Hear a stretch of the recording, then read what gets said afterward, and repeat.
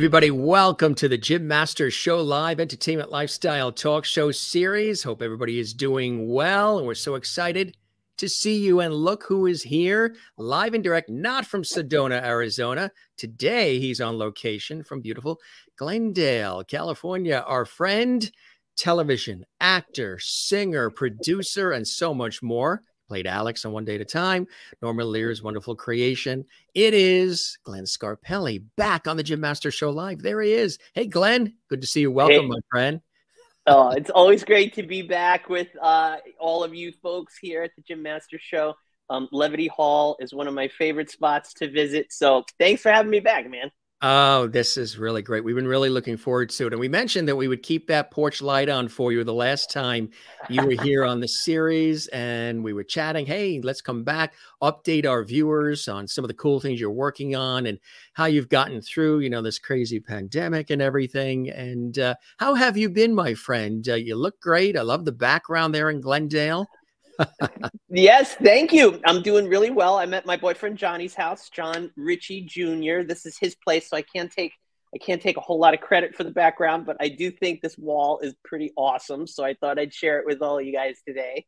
John is a um, game show producer. You know, he's yes. one of the producers on Hundred Thousand Dollar Pyramid with Michael Strahan on ABC. They're just about to go into production for their next season, so we're very excited about that. The show moved out here to LA Yes. So he doesn't have to come to New York to shoot that anymore. So I'm hopefully, you know, we, I don't even know if I'm going to be able to visit because the, you know, with the whole COVID thing, they're still pretty hunkered down at the studios. But I hope I get a chance to at least get a, a guest pass to mm. go see hmm. the shows. So I don't know. We'll see. But that's where I'm coming to you from today.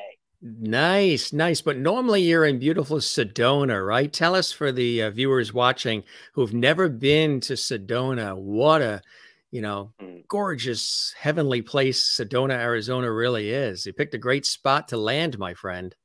Yes, indeed. And I, I got to tell you, I moved out there originally in 92. I, I came back, you know, back and forth to Los Angeles a little bit in the 90s. So I was, I've basically been there 28 years um, total. And I just love my life in Sedona. You know, it's, it's one of those places, Jim, that really is a wonderful energy to center um, it's a healthy lifestyle. It's got a wonderful um, community consciousness. You know, it's not a big town. There's only ten thousand of us that live in that town. That's but four, it, yeah, but four million people come come through our town oh, to visit yes. every year. So we certainly have our our share of visitors, and we welcome folks and love to open those doors and share the beauty with everybody. Mm, that is really, really fantastic. And, you know, it's really cool because since we chatted last, you're doing some really fantastic things, uh, hosting and producing a uh, travel series. It's on several of the uh, affiliated stations. Tell us about that uh, breaking news here on the show. That's cool. Congratulations on that. Uh, thank you so much, my friend. Um, yeah, so, you know, originally about four years ago, I um I started doing these Friday segments on Sonoran Living, which is a morning show on ABC 15 in Phoenix. And they just went so well that now we're syndicated to other markets around the country. So like this Friday, I think I'm on in Tucson, San Diego, Las Vegas, Denver, back in Phoenix wow. again. And um, I'm just so happy to, you know, to share all the wonderful things to see and do in Arizona eventually we won't just be doing Arizona. We we hopefully will be doing some segments out in Hawaii and in California and so on and so forth in Utah. But right now we're promoting areas in Arizona, and um, it's just it's just so much fun, and I'm I'm just feel so blessed to be able to do this. And a little bit when we were sharing while we were doing our tech rehearsal for this right before we went on the air. I was sharing with you that you know I basically shoot the segments on location if it's at a you know a wildlife park i'm there visiting the animals or i'm going zip lining or i'm going kayaking down a river and like we actually take you to the location that we're promoting mm. but um when i actually do these like what we call throw to the package on the air i'm sitting in my home or in johnny's home in some cases like today where i um, have a green screen set up and i'm talking to hosts all over the country and I, you know, they'll be like, Glenn, where are you taking us today? I said, well, t- today we're taking you right outside of Sedona and, you know, whatever the segment may be. So technology is amazing. the pandemic was really um, miraculous in the way that people accept this type of show now and this type mm-hmm. of interview. It's it's it's um, you know uh, normalized, if you will. Yes, right. So so the fact that I can even be in these five cities in one day by sitting in my living room is it's pretty miraculous. It really is. You know, it's just the technology and the way it has all just taken off, especially during the pandemic. How, you mm-hmm. know, I keep saying during the pandemic, uh, uh, you know, I hope that everybody is more empathetic and kinder and coming together, and that we sort of rise from the ashes of it all more empathetic. How have things been with you and the family? Everybody well? Everybody getting through, got through it all? Yeah. I mean, lots of big changes, uh, I think, for so many people. I mean, yeah. for us as a society, of course, um, for our country as a country, and for um, each um, each one of us individually. But I, you know, I definitely went through a lot of changes um, since the last time I saw you. One of the things that had occurred for me, and this was kind of right before the pandemic, honestly, Jim. So the pandemic was an opportunity to actually figure some of this stuff out. But I found myself at the age of 53 hitting a wall with some unprocessed emotions from my younger days. Uh, I think I've shared with you that my first husband, Gary, passed away at the age of 36. I was 25. He died of HIV AIDS. And at 53 years old, I found myself um, experiencing some PTSD from it. There were some triggers that occurred in my life, and I needed to deal with unprocessed grief. You know, mm. grief is an grief is an interesting um, experience for all of us. Yes, it it's is. something it's something that none of us can avoid because the one only guarantee in life is that we all go at some point. Mm-hmm. and not only do we go but we watch the our the ones we love go and um, at 25 years old i just didn't have the emotional skill set to deal with all of it mm. you know i i certainly um, put it down and pushed it aside i one of the things that i that happens for me is one of my coping mechanisms if you will is busyness Yes. So I stay, you know, it's easy to, and I know you do the, you're a workaholic too. Hello. I mean, like I'm constantly working. It's just so much easier than dealing, you know? So, um, that had been a, you know, a, a definite mechanism for me to, um, I, I want to say avoid, but really it's, it's not, it's not like this intentional avoidance. It's, um, a coping mechanism for pain. It's, mm. it's a way to cope with our pain. Mm-hmm. And um, I just, you know, at 53 years old, I'm, I'm 55 now. I really, too, this was two years ago. I really just had to like hunker down and, and like untangle some of those wires, some of those emotional wires for myself. And this happened really towards the end, shortly after I did your show. It was all your show's fault, basically. basically. you know, you just you, you sent me in a, in a, in a tailspin. I don't understand. No, I'm kidding. We sent you to um, lovely land. Yeah. Dig deeper, dig deeper. Dig deeper. Let it rise to the surface. Yeah. Yes. But it did, you know, and it was something that um, I'm such a better person for today. Yeah. I feel yeah. so, I feel um, more content. I feel more centered. Um, I've healed parts of myself that needed healing. But this is one of those things about grief. You know, I worked with a grief specialist, a trauma specialist that was incredible. Um, when I was actually going through the um, original symptoms of this i was uh, having trouble sleeping and i was up at like 3.30 in the morning and i was on the floor of my bathroom praying god please what is happening to me? I don't feel like i want myself back. Where did i go? What is going on? Why do i feel like this? Why do i have such sadness and fear and grief? And what am i feeling? Why am i feeling all this anguish right now? I thought i i thought i did this. And really all i could hear from the universe was call Mackenzie, call Mackenzie, call Mackenzie. And that's what I did. You know, I, I waited till about 7 a.m. and I was like, okay, she must be up by now. And, and I called her and I said, I'm going through this stuff. Like, what is going on? All I could hear is call you. so, what's going on? And, you know, because she works at and with the Breathe Life Healing Center in beautiful West Hollywood, California, right here, she has at her fingertips all the um, necessary tools to mm-hmm. heal pain. Because that's really what addiction is all about. You know, yeah. it's all the the numbing of the pain and the unprocessed feelings that you know you got to feel it to heal it. They say, right? Yikes! Um, yikes is right because that's yeah. not easy for yeah. any of us. No one right. wants to go through that, but it's a narrow passage. But once you go through it and you get through it and you just breathe through it and actually feel it, you do come out the other side.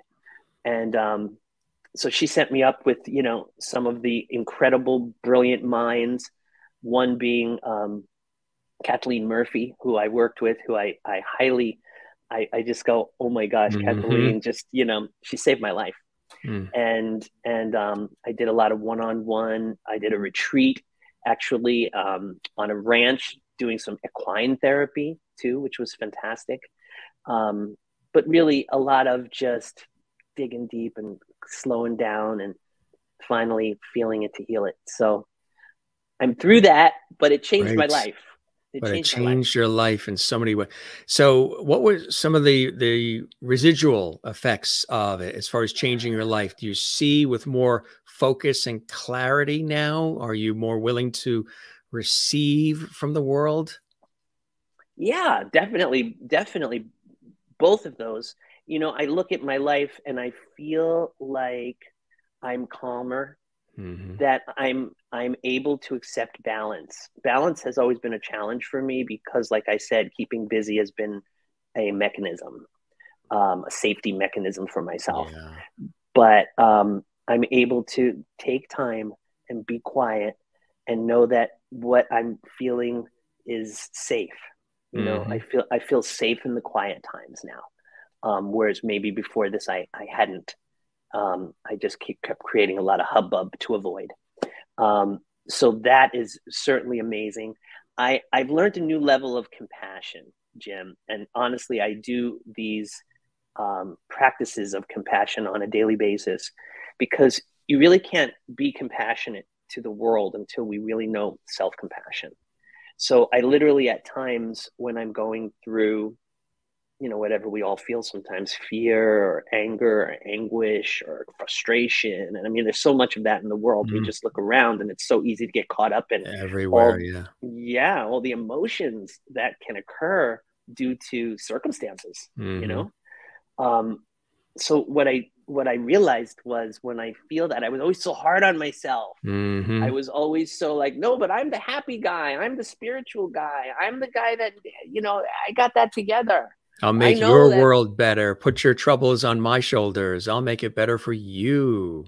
Yeah. Yes, the mm-hmm. caretaker mm. and the one trying to uplift and you know all that. I know how that, that is.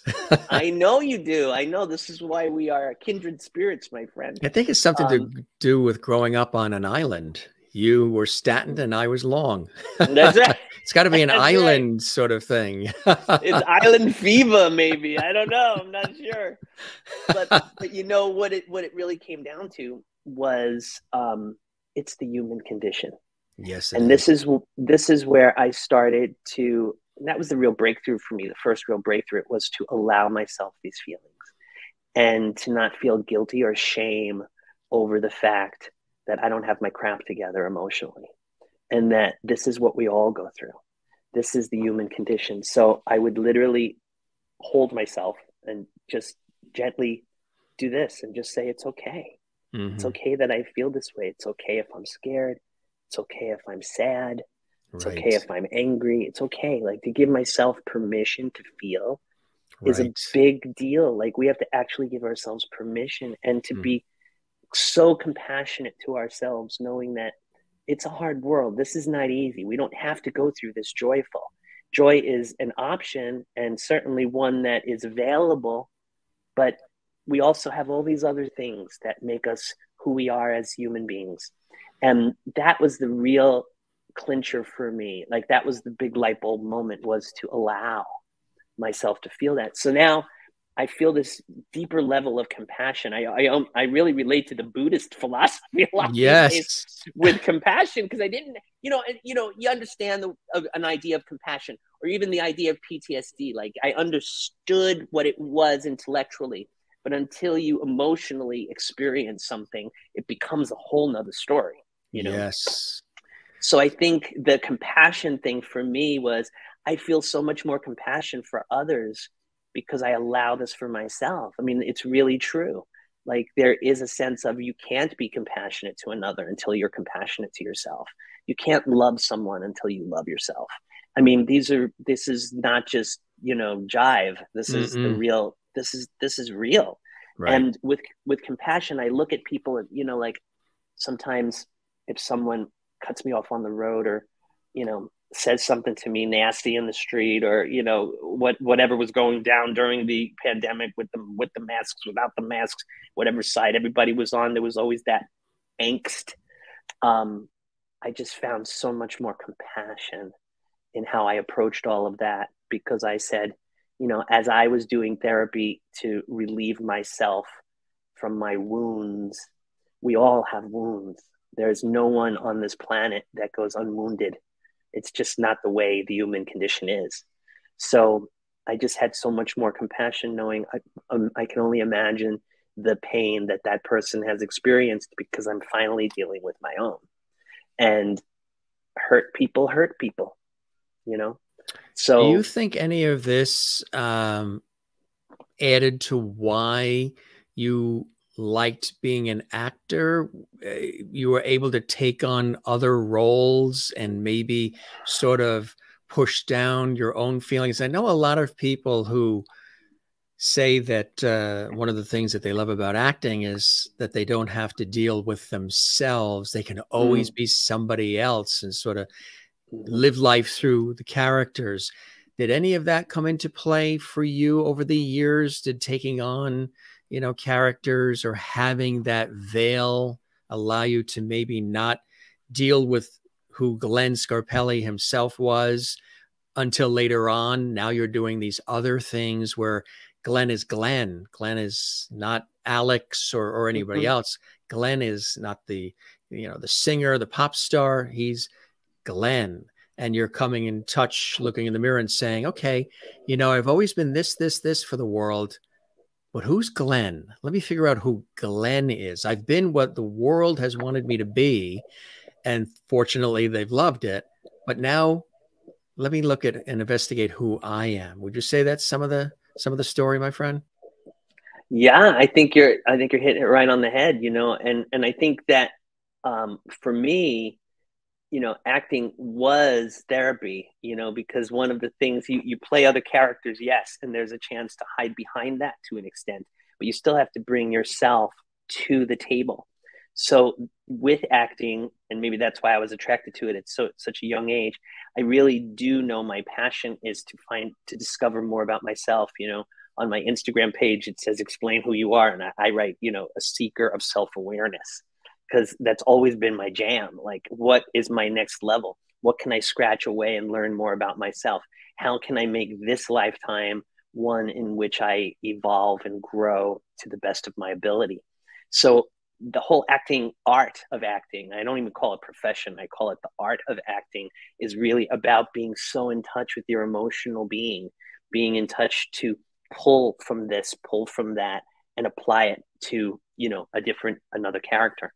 Um, but again, here I am at 53, and you're right. I am looking at myself in the mirror and certainly saying, okay, how much of that did I hide behind? And now I'm just ready to find out who, who I am and what makes me happy. And you know, Jim, I got to tell you, I went through a lot of, I down a lot of paths as I was really processing my life during this, this whole time, you know, really looking at everything in my life, my childhood, and then everything since. Yeah. Right. And you, we go through a lot of what we don't want to find mm. out what we want. Yes. You know, it's a journey, isn't it? It's a journey. And it's and it's an important part of the journey. Like like and we have to forgive ourselves and be compassionate to ourselves to know that we went down that road thinking that's who we were. But you know, turned out maybe it wasn't. You know, I've been in relationships where I mean, I was in a different relationship the last time I spoke to you. And as much as I was sad that that ended, I tried everything I could to make that work. But really, what the bottom line was, it didn't fit this person. You know, it wasn't it wasn't the perfect fit for me. And um, I, I, you know, I, I he's such a wonderful man, and I wish him only happiness. but for me it wasn't the it just wasn't the perfect fit and i discovered that as time went on when the world got quiet mm-hmm. you know mm-hmm. i i was very much busy busy and i knew what whatever was even wrong with that relationship i was busy enough to where it didn't make that big a deal but then the world stopped and you had time to process and breathe and reflect and like a lot of people did and it's been really did, yeah. an extraordinary thing because you know we've all been so busy and then when everything did pause the great pause uh, right. it gave us time to really say okay what is next chapter for me what do i want to do right. next how do i want to inspire others how do i want to right. inspire myself and stay plugged in or maybe plug in even deeper to the world that's and it sounds like this epiphany, you know, it took all this time, but there's a reason for everything. I drove, I think I mentioned this maybe the last time. I had something similar happen when I was on a television shoot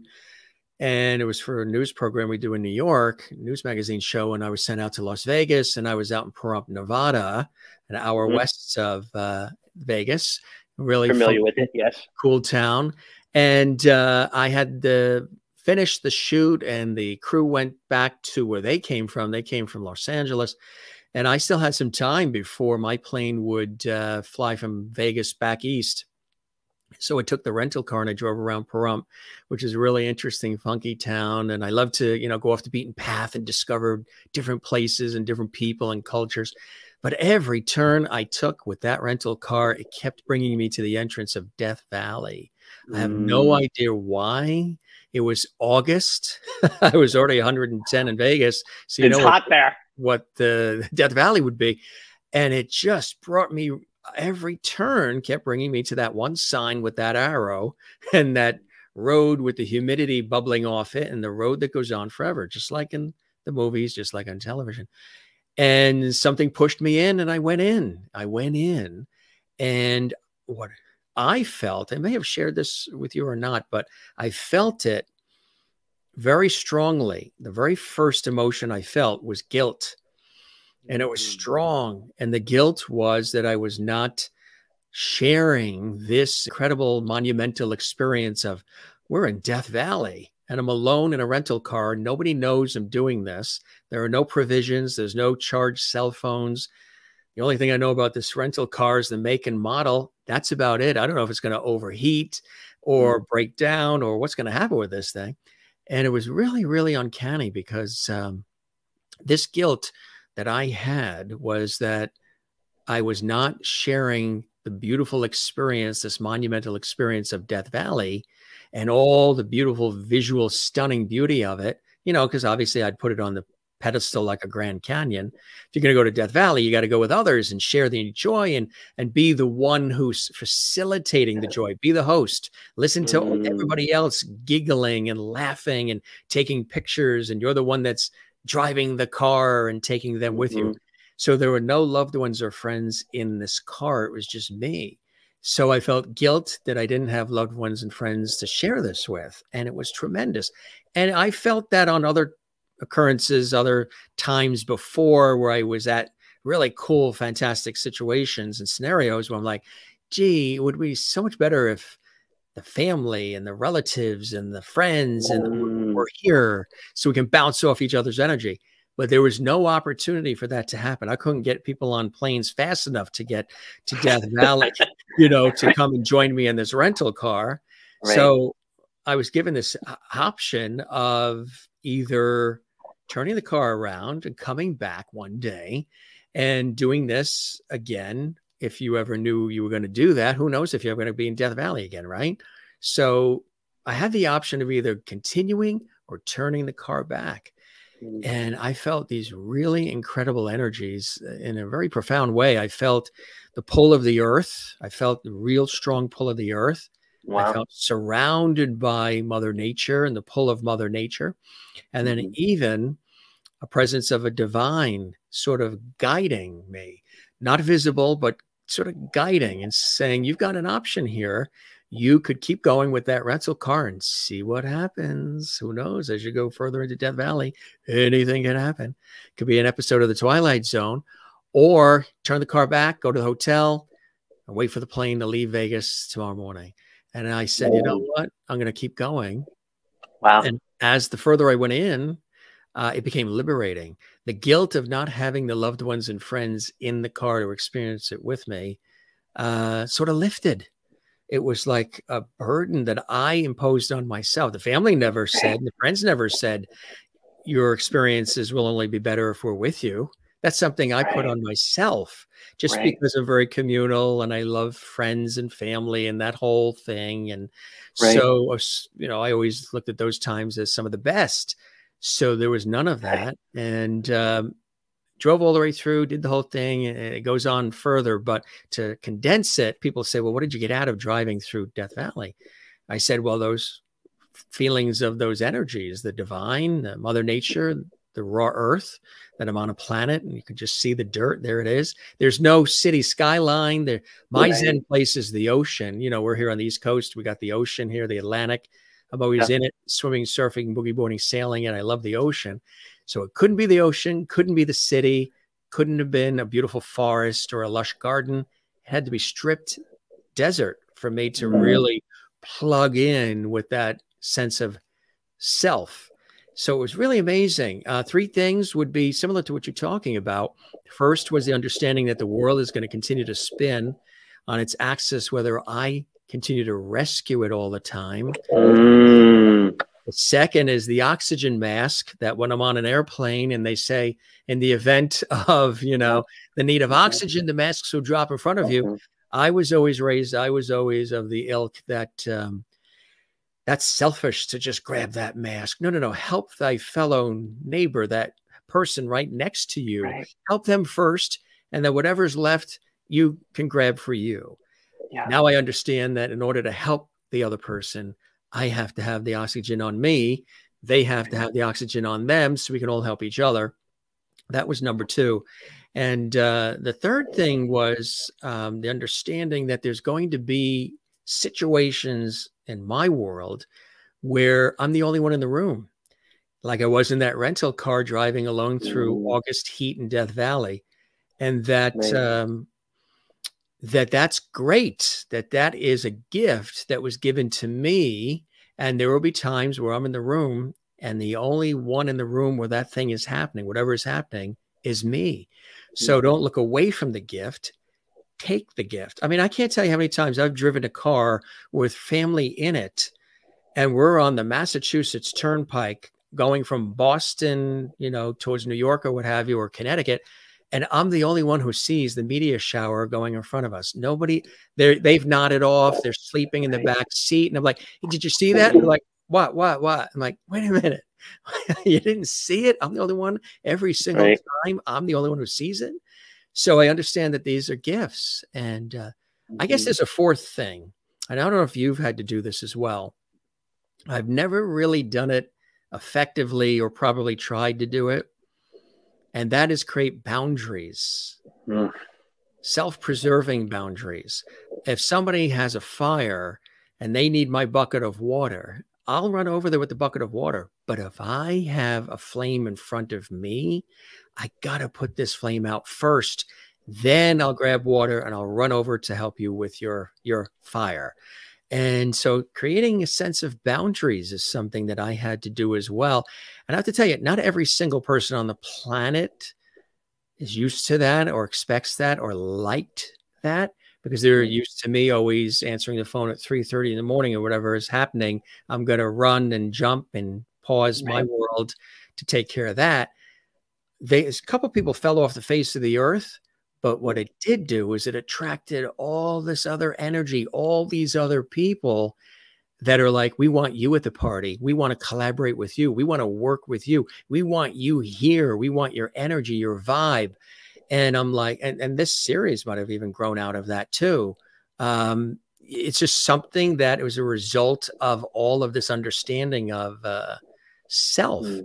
And one of my friends is David Friedman. I don't know if you ever met him, David, uh, in Norwalk, Connecticut. He's a brilliant composer.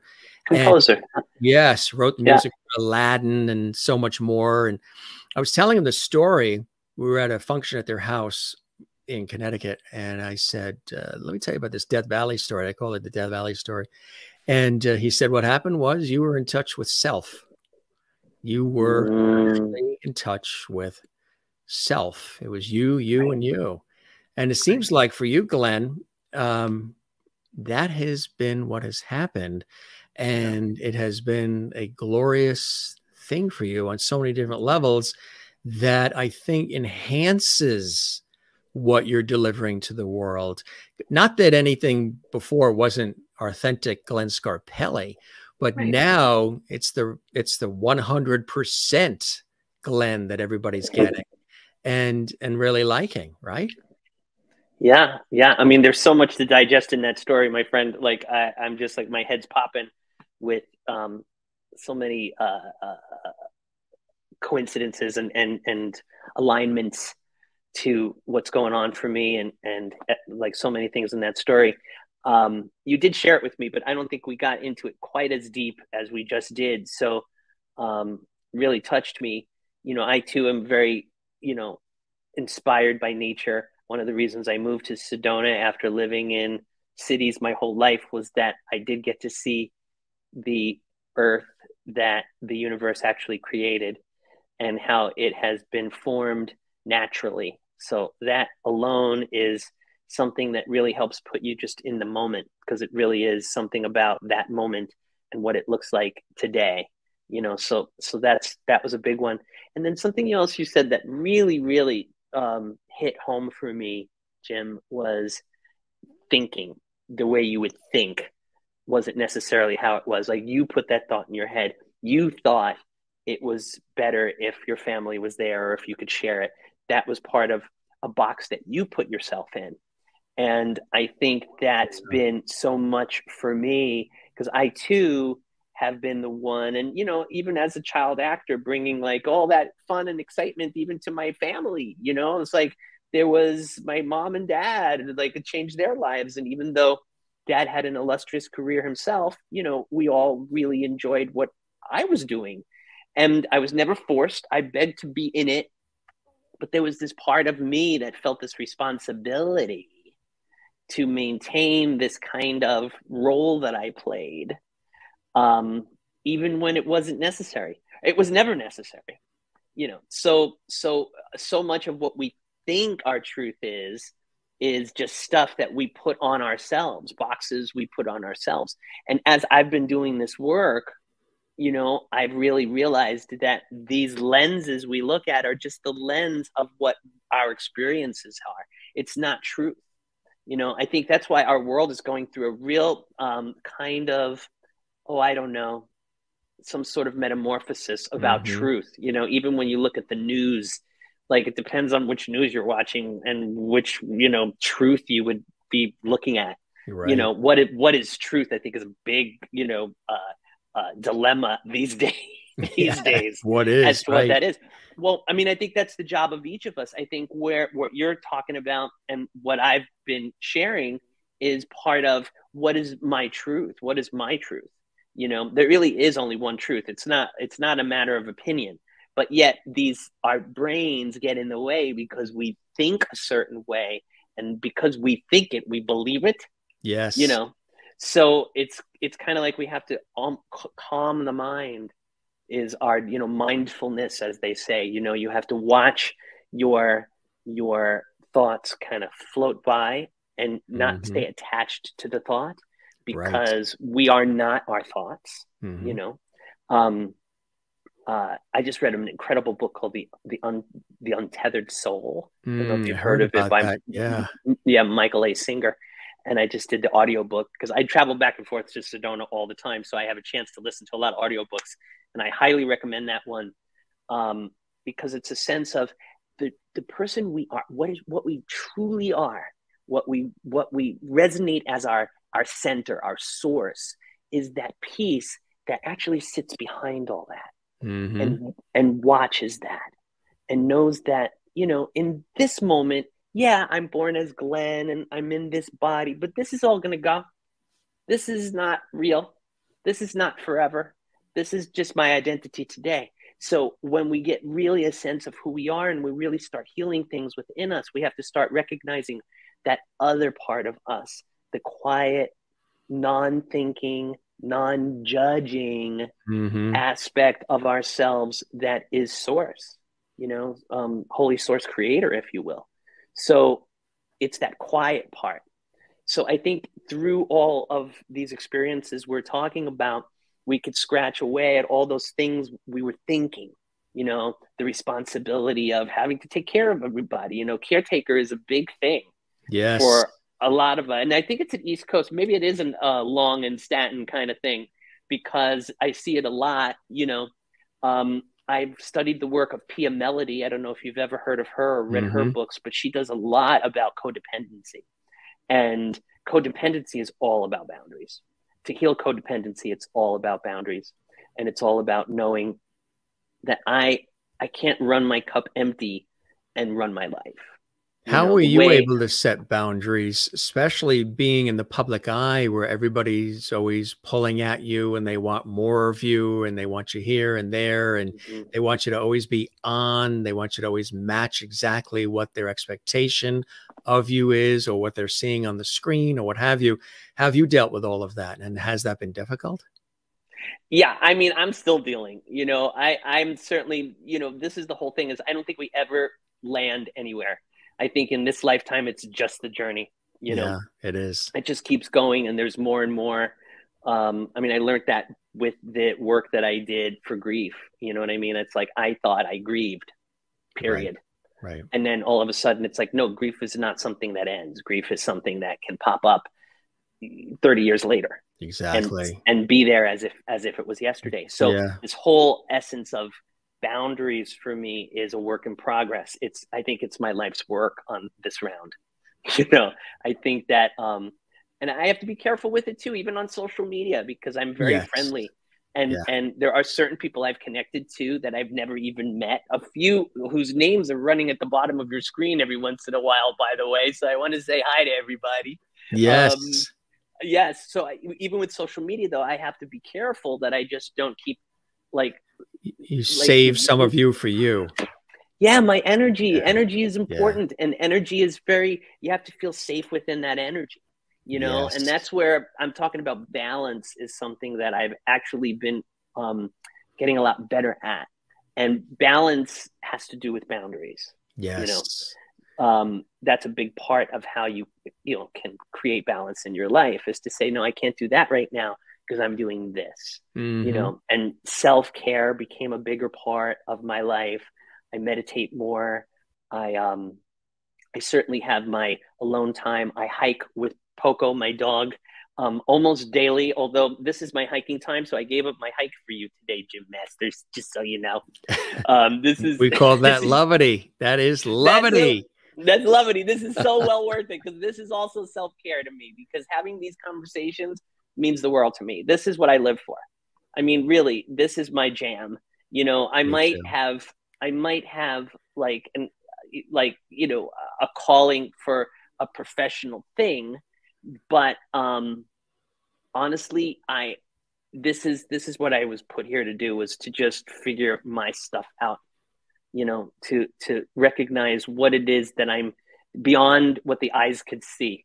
Yes. You know, that's right. What this, exactly. What this what this dimension's all about. So, you know, I love this. I love this kind of talk. Oh, me too. Me too. And and you and I, even the last time, we just let it roll for the people watching. You know, the way I do this series, um, there's no pre-scripted questions. There's right. no teleprompter.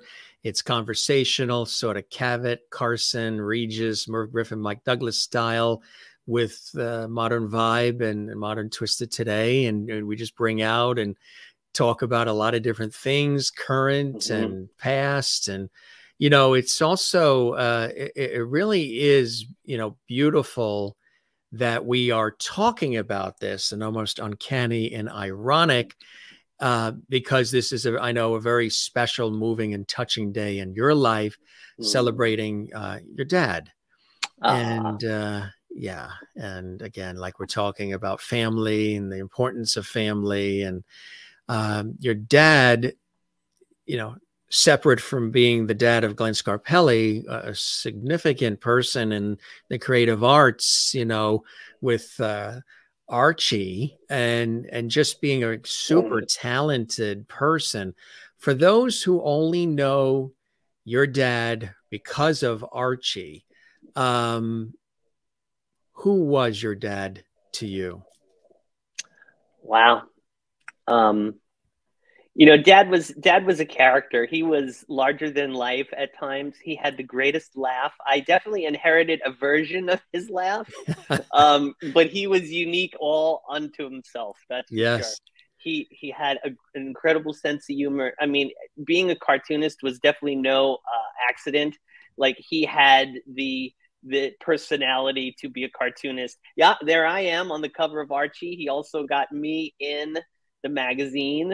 Um, How cool is that? comics, yes. They actually, when I was on One Day at a Time, his buddies that run Archie said, you know, why don't we put Glenn there since he's in all these teen magazines and such. So yeah. 16, that was a Teen Beat, Tiger Beat, and then Archie Comics. So that was a, that was a dream come true, and also an opportunity for Dad and I for our worlds to collide. We'd never really worked together before, so that was a really wonderful experience. My dad was, um, you know, one of my heroes for sure. He was incredible to me throughout my life. You know, I'm an only child, so an only child has a very unique relationship with his parents. Um, my dad, you know, I begged to be an actor from when I was five. I broke them down at about eight you did, and that's when and that's when I got into the business. They were like, "All right, already," because I was like, because they were like, "Well, when you're an adult, you can, you know, you'll do that when you're an adult." I'm like, I don't want to wait till then. I want to do right now. So, so I finally, I finally, you know, wore them down. And the thing that was incredible, specifically about my dad, because he was a creative and because he had a creative job, um, he never said get a real job. You know, I know a lot of people friends yeah. of mine that didn't get that kind of support from their parents. So I just want to always acknowledge that I really did get that support um, from both mom and dad, but you know, yeah. specifically dad, who you know certainly didn't see acting as unattainable.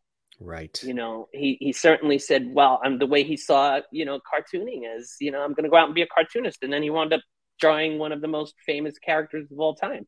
So you know, it was certainly attainable and he, what what that helped me do was it made me believe mm-hmm. you know because first you have to believe yes you know you have to really believe that you can do it that it's yeah. available that the universe will bring this to you you know and not second guess yourself or second guess um, one of the other wonderful lessons that he taught me as a young actor was the t- the tough skin the rejection part of it you know to believe in myself no matter what.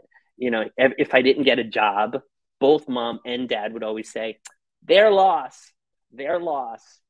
And it just really helped me because I never took it personally.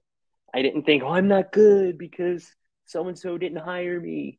I mean, as an actor, I started to learn that, you know, there's way more roles you don't get than the ones you do get. But you just have to get the right ones and that's the answer to it all. You know, you just get the you just get the right ones. You don't have to win them all. Exactly. But the ones you win could be pretty good. Could be pretty good, and you yeah. had the the love and support early on, which I think really makes a world of difference. I mean, even the love and support of Golda Meir. yes. Oh my gosh, I love that you're showing that picture. Um, that's Anne Bancroft. Yeah. Uh, who played Golda on Broadway um, in the show Golda, and that's myself and the actress that played my sister. Um, and it was just such a wonderful experience. I mean, you know, to to work on Broadway first of all, Arthur Penn directed that. Um, you know, to work with Anne Bancroft and everything she is, and the mm-hmm. experience mm-hmm. and and the the role model she became for me. Yes. Um, was unbelievable. Married to Mel Brooks, who Mel was at the theater very often, and getting to know him was incredible. But Golda played a big role in the development of the play. Like she had her hands in on things. Yes. She would often come to, you know, dress rehearsals and and and uh, run throughs and readings and you know, she was she was there. Yeah. You know, and then of course opening night where she was so proud. But this was a, a dinner that we had gone to. It was just um, the kids. She just took the kids out and Annie, and um, and we just all went to dinner one night. And one of the things that was, and I might have shared this with your audience in the past. Forgive me if I have, but it's worth repeating. And one of the things that she shared with me that was so profound that I carry to this day was she said, Be the person you want to spend the rest of your life with. And, you know, I was nine years old.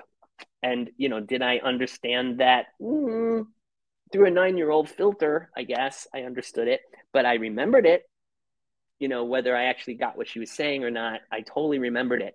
And I carried that throughout my whole life, like through my 20s, whatever that meant to me in my 20s, and through my 30s, through my 30 year old filter, and so on and so forth. But here I am now at my 55 year old filter saying, you know, that's pretty profound. That is be good with yourself. Yeah. No one else, no one else completes you. You know, Right. you com- you complete you. There is none of this you you know you complete me thing. It's No. it's self, like you were talking about Yes. self. Right. It's all about it's all about self, and that's really what she was saying to me. Be the person you want to spend the rest of your life with, because you're gonna. You know. That's right, exactly. So, so what would the Glenn of today say to the Glenn of then? oh my gosh. oh my gosh. Um, my goodness.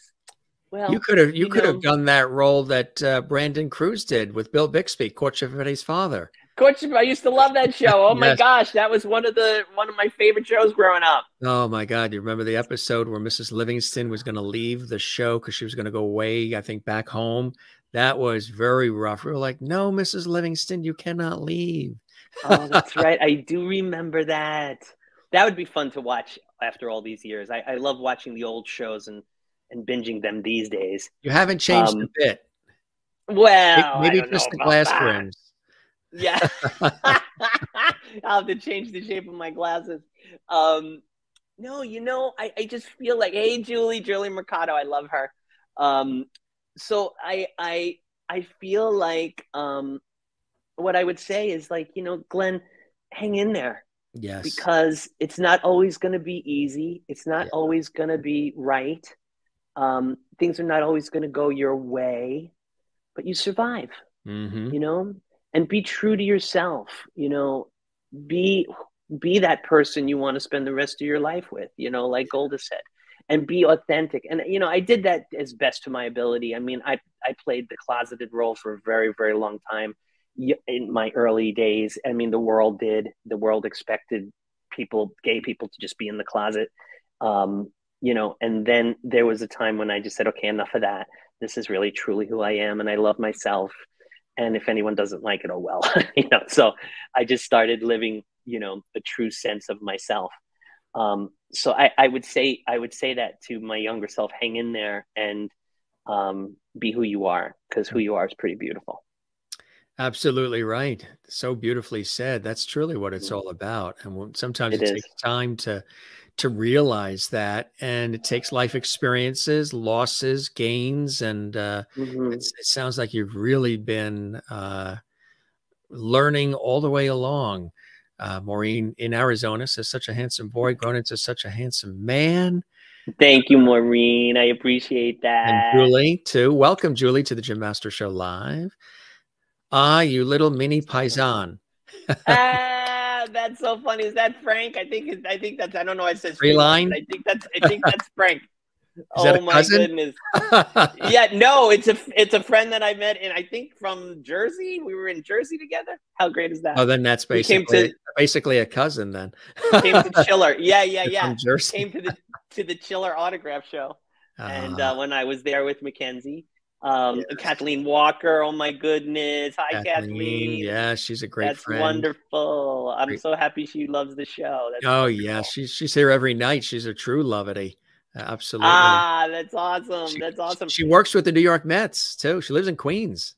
You're, you know, Yeah. Kathleen. I don't know if we ever discussed this, but I sang the national anthem at Shea Stadium back in the day for the Mets, You did. and yeah, it was quite an experience. It was it was unbelievable. I was so scared. The Mets were playing their final game of the season to get into the pennant, and they that was packed. There were sixty five thousand people in those seats, and I sat on stood on home plate. And in those days, Jim, they didn't have they didn't really have any monitors. So all you would hear is the feedback of your own voice delayed. So it would be like oh, say, can you? And then back at you would go, oh, say, can you? And it, was like very jarring. and they didn't never, I mean, it was no rehearsal. So I wound up sticking my hands in my ears to sing the national anthem because I couldn't hear myself. And and then I got all this like negative feedback from people saying I was diff- I was like not being nice to the flag. Oh, you were denigrating it all, and yeah, but honestly, it had nothing to do. You with couldn't that. hear. I just, I just I wanted to sing it on key, so I couldn't hear this thing back. So nowadays they have wonderful, like I'm wearing right now. You know, hey Beach, that's so Yes, funny. My friend York he was the one who who's the one who helped me get booked at the Mets. He was there with me oh, that oh, he day. That's so- he helped you get booked with the Mets. he was working for WAPP at the time. WAPP, that's right, in New I York remember City. yes. WAPP? Yes, Bruch. Very wow. dude. so, uh, well, uh, Glenn, as everybody knows, or maybe new viewers around the world don't know, Glenn is originally from New York City, from Staten Island, New York. Right. And I'm from out east on Long Island, which isn't necessarily part of the city, but is suburbs of the city. So, uh, you know, every, Might as well be. this is like a whole family reunion here. Uh, my father, Mets fan, because always early as a kid, a Brooklyn Dodger fan. So when the Oh, Dodgers escaped and went west, a lot of them went with the Mets. oh and yeah. Uh, that's what happened there. They definitely went went with the Mets. Yeah. Um, I've had the joy. Oh, and I want to actually bring this up. I've had the joy of becoming very dear friends. Not that he was a Met, but he was a Yankee. I've been a Yankee fan all my life. Yes. But um, I become a became New very, York. Mets are out. I'm a New York fan. So I, because we used to go to Shea and to Yankee Stadium. Yankee So fan. I'm, and I become a New York fan. Whatever New York team's in, I go with it. Well, I always stayed a New York Yankee fan, even though I haven't physically lived in New York in quite a while. But um, I, my heart is still in New York. You know, once you're in New York, you're always a New Yorker. I think I don't know. You can't really shake it. But I become very dear friends with Roger Clemens, baseball great pitcher Yeah. Roger Clemens, and this is the art of his wife. This is um, Debbie Clemens. This is her beautiful piece that she sells, debbieclemens.com, or at the Andrea Smith Gallery in Sedona. And I just love it. This is Metatron. These are all um, very powerful gems that um, represent Metatron, the Archangel Metatron. And there's so much power to her pieces. And I just love it. I feel always centered and safe. And I just love the look of it. So this is Debbie Clemens, Roger Clemens' beautiful wife, who's a dear friend. How did you guys meet? How did that connection happen with Roger? Well, they have a place in Sedona. Oh, they do. um, I didn't realize that. Wow. Yes, part time. They live in Sedona, so we hang out. Roger is a. Um, I, I really met them through my dear friends Gary and Andrea Smith, Gary who Narnger. show her Yeah. work at the gallery. Um, Maureen's in Andrea is- Arizona. She wants to know the name of the gallery again. it's called the Andrea Smith Gallery in Tlaquepaque, and you will love it. You will not be disappointed. They have all spiritual art. Andrea is known as the world peace artist and has done commissions all over the world. Um, I've been to uh, Bali with them. I've been to Egypt with them. Very Um, nice. They take people on spiritually in charge to all these spiritually in charge places. It's remarkable. But they sell just such wonderful work. So yes, please go visit. But that's how I met Roger. And Roger does karaoke parties with us. He did one at our house, and he he's called DJ No Request because you cannot request a song from the man. he plays whatever he wants. If you know it, stand up and sing it and sing it. but so that's that's Roger's mo. But that's the whole that's the whole story behind that. That is really, really cool. I, I know folks, of course, want us to, who might be just tuning in, talk about the beloved uh, one day at a time. How did Mm. that happen for you? I know it's a story you've probably said 7,493,000 times, as always the case, but it's always fresh and exciting for folks. And, you know, it is an amazing thing when you get a chance to have a role on a, a Norman Lear project like this with this wonderful roster. The only one uh, missing from here is Mackenzie and Nanette Fabray, of course, as the grandmother, and uh, Right. Harrington, Fabray. Bonnie Franklin, Valerie, Valerie Yeah. Bertinelli. And I know um, you were very well. You stay close to Valerie and to Mackenzie, but you were yeah. very. Uh, Bonnie was sort of like a second mom in a way to you, huh? Oh yes, yes. I mean, they were all family members to me. Harrington was like you know a, a, a role model like you wouldn't believe in my life too. So um, I recently went out to lunch with one of his sons and his wife and Harrington's um, beautiful wife. So you know, I stay close with all of them and all their families. Um, Bonnie's family is like my family. My friend Julie, who's her stepdaughter, is one of my dearest friends still. Her stepson Jed is one of my dearest friends. He lives here in Glendale, as a matter of fact. We just oh, saw wow. each other a couple of weeks ago. Yeah. Um, so yeah, I mean, it was the a, a, part of a lifetime for me. That set was so happy and yeah. fun, and like it never felt like work. We would all go to work. Um, I saw an interview that Michael Lembeck did recently, and basically he said, "You figure like we'd get there at ten, and you know yeah. be out by six or whatever, and you know it was an hour for lunch. We worked about six hours, but really we laughed for about six hours." Like yes. we got our, we got our, we got it done. We got, yeah. we crossed the finish line. That's for sure. Everyone on that show was such a pro, but we did it with humor and fun and creativity, and you know, a lot of that was thanks to Pat Harrington. Truly, yes. he was just, he was the funniest man in the world, and he was like that all the time. Yeah, like he was on. He was cracking jokes. He was down to earth and just so loving. Everyone on that show was so loving, truly. Yeah. So so I got the part. Valerie Bertinelli helped me get the part. She doesn't admit to that, but I I was doing um, Richard III on Broadway with Al Pacino. That's Valerie right. I had met and she had come to the show. I had met Valerie prior to One Day at a Time. And she had she and her boyfriend at the time, Scott Colomby, had come to the show. And I introduced her to Pacino. And on the way out of the theater, she said, If there's anything I could ever do for you, Glenn, just ask. So, cut to now, you know, my mom is sitting in the backyard of in Staten Island. She's reading the TV guide, and there was this article that Mackenzie Phillips had been struggling with her drug addiction and that they were letting her go. And they would probably be adding a 14 year old boy to the show, of which I was like, What? so I tracked Valerie down, doing, doing it, doing it because I went, okay, wait a minute. Valerie said if I ever have a question, um, and I basically, you know, uh, tracked her down doing a TV movie, and she was like, "Oh my gosh, I was talking to Bonnie today, and she said that she wants someone with theater credits." She goes, "I saw you on Broadway. It would be fantastic. I'm totally recommending you. I'm highly recommending you." So I had to audition. That's why Valerie always says, you got yourself the part. I didn't get you the part. But look, if you get into an audition and you've got the seal of approval from Valerie Bertinelli, that does not hurt. Okay. No. So I definitely had a, a, a, leg up, in my opinion. Well, and, um, you know, I still I, thank her for that. Oh, that's a beautiful thing too. Um, and this is a great shot too, huh? The one day. I love it. And you know, it was so funny. I just showed Johnny that last night because yes.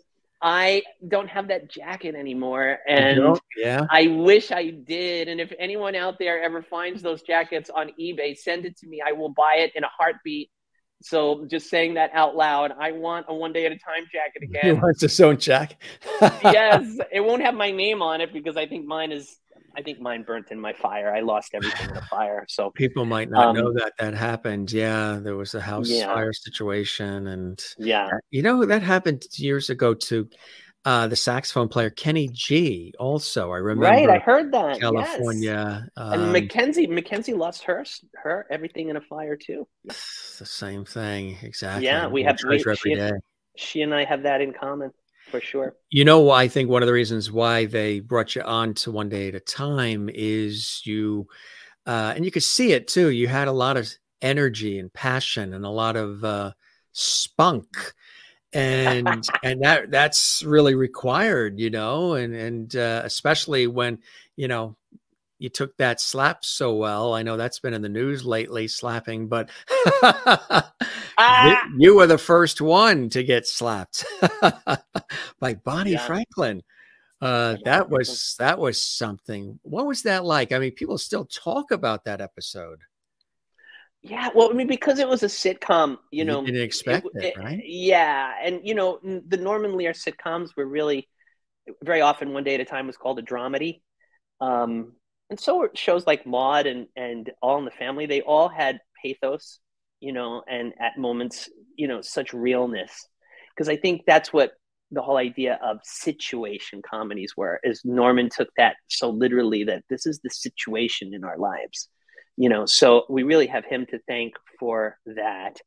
Um, for that flavor and that brand and that and that tone which was so important in the 70s and 80s to start introducing. I mean, there was there was life before Norman Lear and then TV after Norman Lear, and that was when it all changed. So, very grateful to have been um, on one of his shows in particular. But that that that episode was one of my favorites. You know, Bonnie and I just played in such a great world. That was really the time. I mean, I had been on the show for you know one season. I think it was the end of my first season, and I, I knew I was like grooving. Oh, that's my dog. I'm so sorry. Ah, there's oh, like, oh no. There's somebody. Ah, Johnny's coming. Let home. him in. Let him in. He's they love on, that. He got home early. Yay! I'm on. I'm on YouTube, babe. I know. I'm on with show. Jim. Ma- I'm on the Jim Master show. Ah, that's what happens when. That's what happens when Johnny comes home. Poco goes crazy. Johnny Poco come lately. Johnny come lately. Exactly. So um but but you know what was wonderful about that was that was the episode where Bon and I just totally connected on you know our chemistry. We just knew that we had something so good, and I think it really um, it definitely embedded me in that show in a way I hadn't been. Oh, look, everyone's saying hello to John and to that's, Poco. That's what happens. Oh they, my God, come over here, stick your yeah. Here. Oh yeah, a lot of come people here, bring Poco. They, they show the pet. You, yeah. Yeah. Yeah. So you get a little glimpse of what my life looks like right now. This is John. Hey there. There's, Welcome, John. That, that's There's Jim. the family. Welcome. There's the family. Love it, oh, huh? Oh my gosh. Look how cute. My two boys. Hello. That is really cool, huh? Yes, and, I'm and, so glad we got to. Hi, babe. Hi, and Glenn, you were saying that uh, John, you know, involved in some of the most beloved of the game shows game and all kinds of cool things. We had, uh, of course, the mutual friend Wink Martindale and Sandy were on the show just a couple weeks this? ago. Yeah, And and they were just phenomenal. on the show a couple of weeks ago. Just You're a couple kidding. of weeks they were just ago. on the show. Oh, Wink and fantastic. Sandy. Oh, that's great. Yeah, oh they're my amazing. Uh, tell us, John, about some of the shows you've had an opportunity to work on. It's kind of cool. Oh my goodness. Well, um, I do a lot with the hundred thousand dollar pyramid, which is coming back in a couple of weeks. Uh, at least we're taping it, and uh, I'm working on 25 words or less right now with uh, Meredith Vieira, and uh, I've done some work in the past with College Bowl and uh, America Says, and just a whole bunch of fun. You know, it's a tough life playing games all day.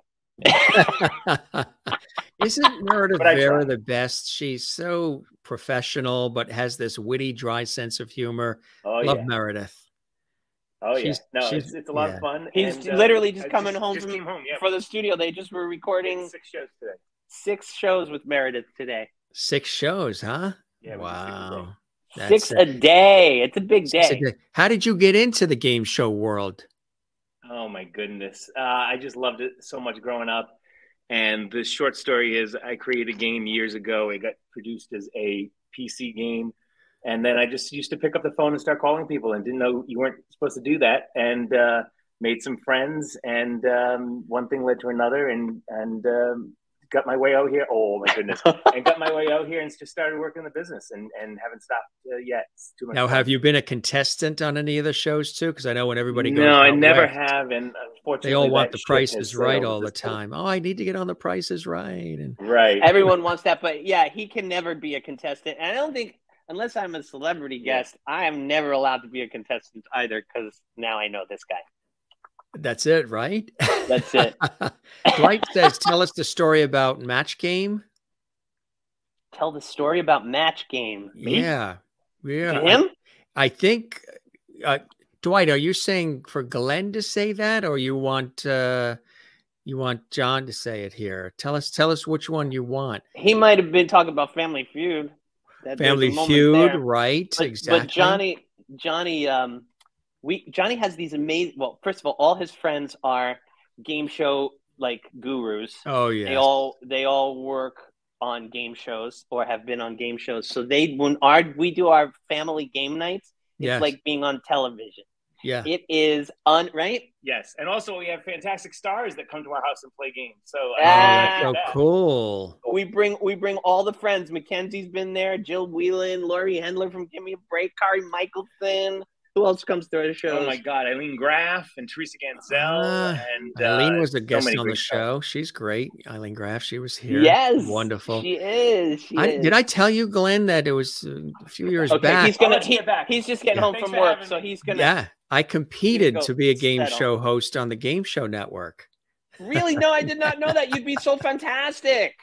Yeah, they were going through town when the Game Show Network, when they weren't even calling it GSN, it was Game Show Network. Yeah. And uh, they came to town, and uh, there was about 5,000 people from all around the world who uh, showed up, and uh, they just threw you out on stage, and there was no set or anything. They just had the judges there. I think Mark Summers was there from Nickelodeon. As one of yeah, Mark. Summers, one of John's dearest friends. We just went up to see him in a couple weeks ago up Sony was there, the Synergy Group was there, and uh, they just threw us out on stage. It was literally about 5,000 people. It was like, you know, an Elvis concert, just people lined up around the buildings. And it was really amazing. So a couple of colleagues said, Jim, you should, you know, go. You've done a lot of hosting over the years.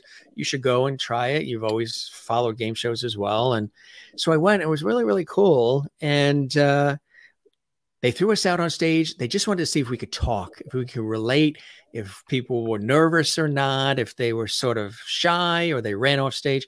So we got through that part, and then we had another round, another round, another round. I think it got whittled down from 5,000 to 2,000 to 900, 500, 100, 25. And then Wow. there were three out of 5,000 people. It was incredible. and, you were one of them? Yes, and the the person that won was a uh, a female, I think from Boston. She was married with kids, and at that time they had they were looking for a female because there really weren't a lot of female game show hosts.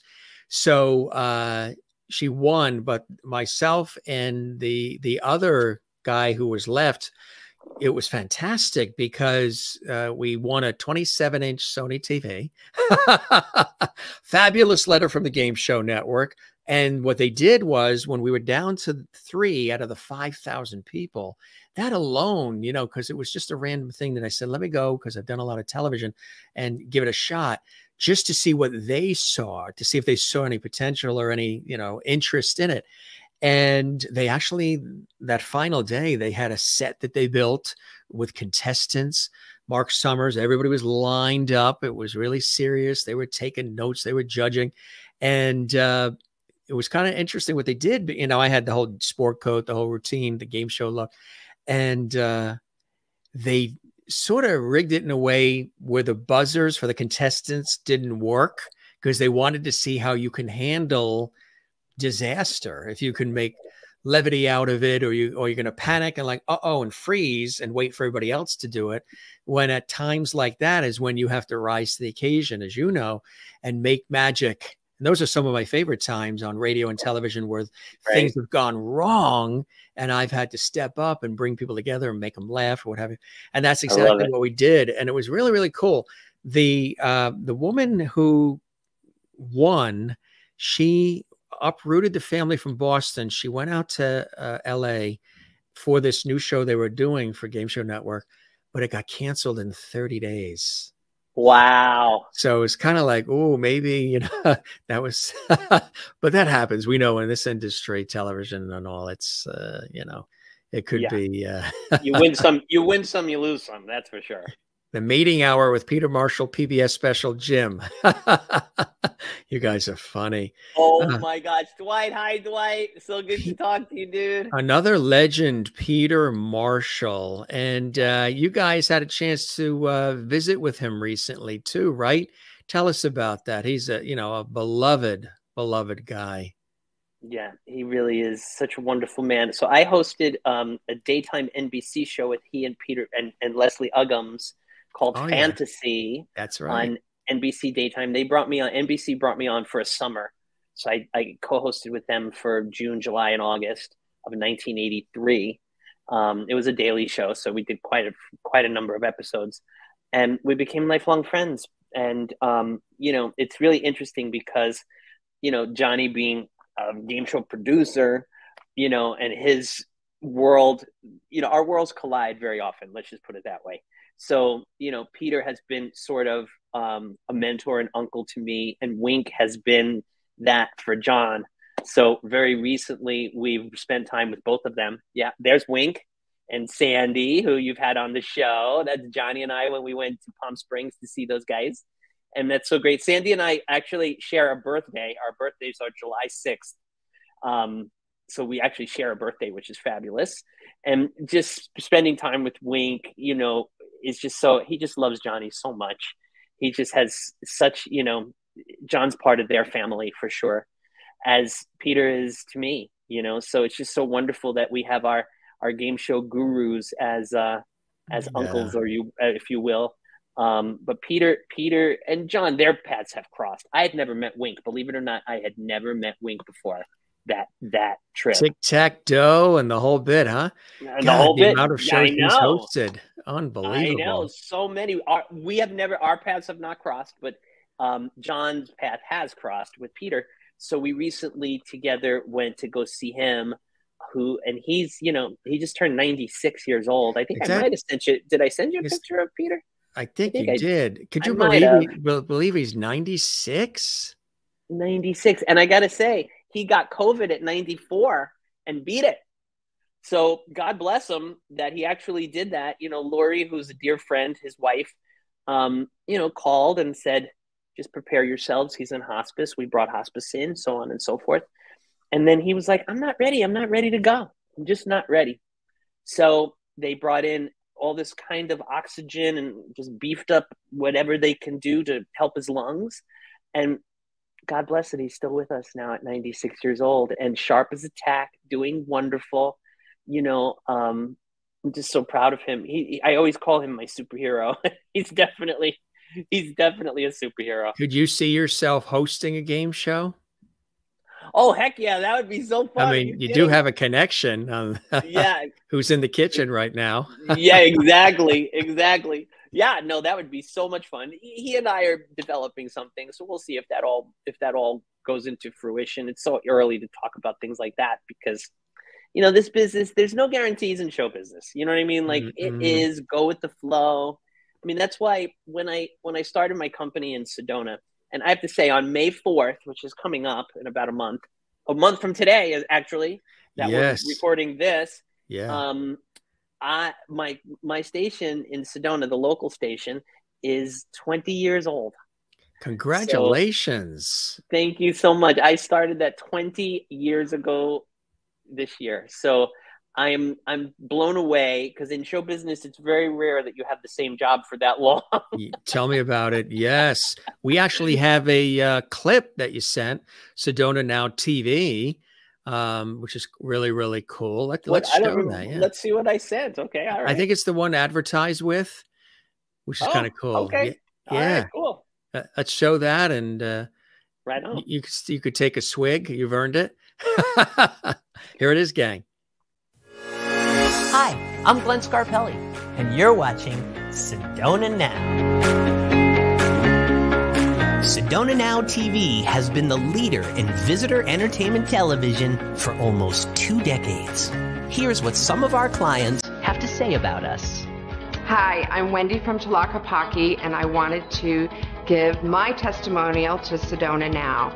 I've been working with them nonstop, 100% without interruption for almost 19 years now.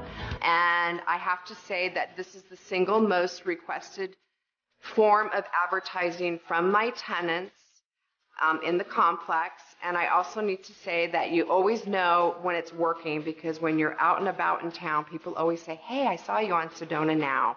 So kudos to Sedona Now, looking for 19 more years. All I can say is, where would we be without Sedona Now? When I think of the years that we go back, it's nearly two decades. I'll never forget the first opportunity to have my first commercial in Sedona Now. It is my heart and my soul and my pleasure to be a part of the Sedona Now family. And now is the time that we get the most benefit. Our guests talk to us about it all the time. I love Sedona now. Thank you for everything you've done for us for almost 20 years. Hi, I'm Patrick Schweiss, director of the Sedona International Film Festival, and I want to let you know that Sedona Now is an integral part of our success. We've been partners for many, many years, and they are the best investment we could possibly make in advertising dollars and exposure here in the Sedona area. They truly cover it all. We constantly have people coming into the Mary D. Fisher Theater and to the Sedona International Film Festival and said, We saw you on Sedona Now. And that's a huge testament to their reach and to just how effective your advertising dollars are. I would strongly encourage you to support Sedona Now, put an advertising campaign together. It's well, well worth it, and you will see results. Seen in more hotel rooms than any other local station, reaching nearly 2 million overnight visitors a year and we're proud to be the only local station seen in these hotels. We have now grown statewide in our premier partnership with ABC 15 Arizona. Look who's here in Sedona, folks. It's Susan Casper and Terry O from Sonoran Living. We are so excited to be here with Mr. Sedona. Absolutely. Glenn Scarpelli, Discover Sedona Now. We love it. Every Friday on Sonoran Living on ABC 15. Catch us. 9 a.m. Hi, my name is Gary Smith, and I'm co owner of the Andrea Smith Gallery in Sedona, Arizona. And I'd just like to say that I've been working with Sedona now for the past 18 years, and I've never had a greater response to our art than through this TV station. And now it's unbelievable. I'm seen on ABC TV in Phoenix that has made a great change in my business. We can't tell you how excited we are working with Sonoran Living and Sedona now, along with Glenn Scarpelli and his team. The results have been unbelievable, and we're so thrilled to be a part of the team. I'm Terry O from Sonoran Living, and we are so excited to have Glenn Scarpelli and Sedona now a part of Sonoran Living, and you can be a part of it too. Come join us. As an ABC 15 partnered production company, our production values include a cinema quality gear package and have been honored with four Rocky Mountain Emmy nominations. So, with the largest TV reach in the Verde Valley, HD broadcasting in many locations, and statewide visibility, why wouldn't you want to be a part of our family? We look forward to hearing from you. Now you know.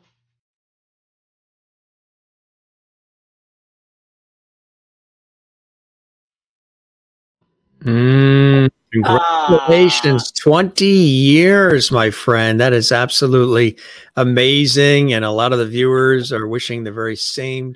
Can you believe it's 20 years? I mean, that's wow. so great. Thank you so much, Denise. I saw Denise there too. Yes. Hi, Denise. Yeah, so so wonderful. Thank thank you all. Yeah, 20 years. I just can't believe it. I started it when I was 12.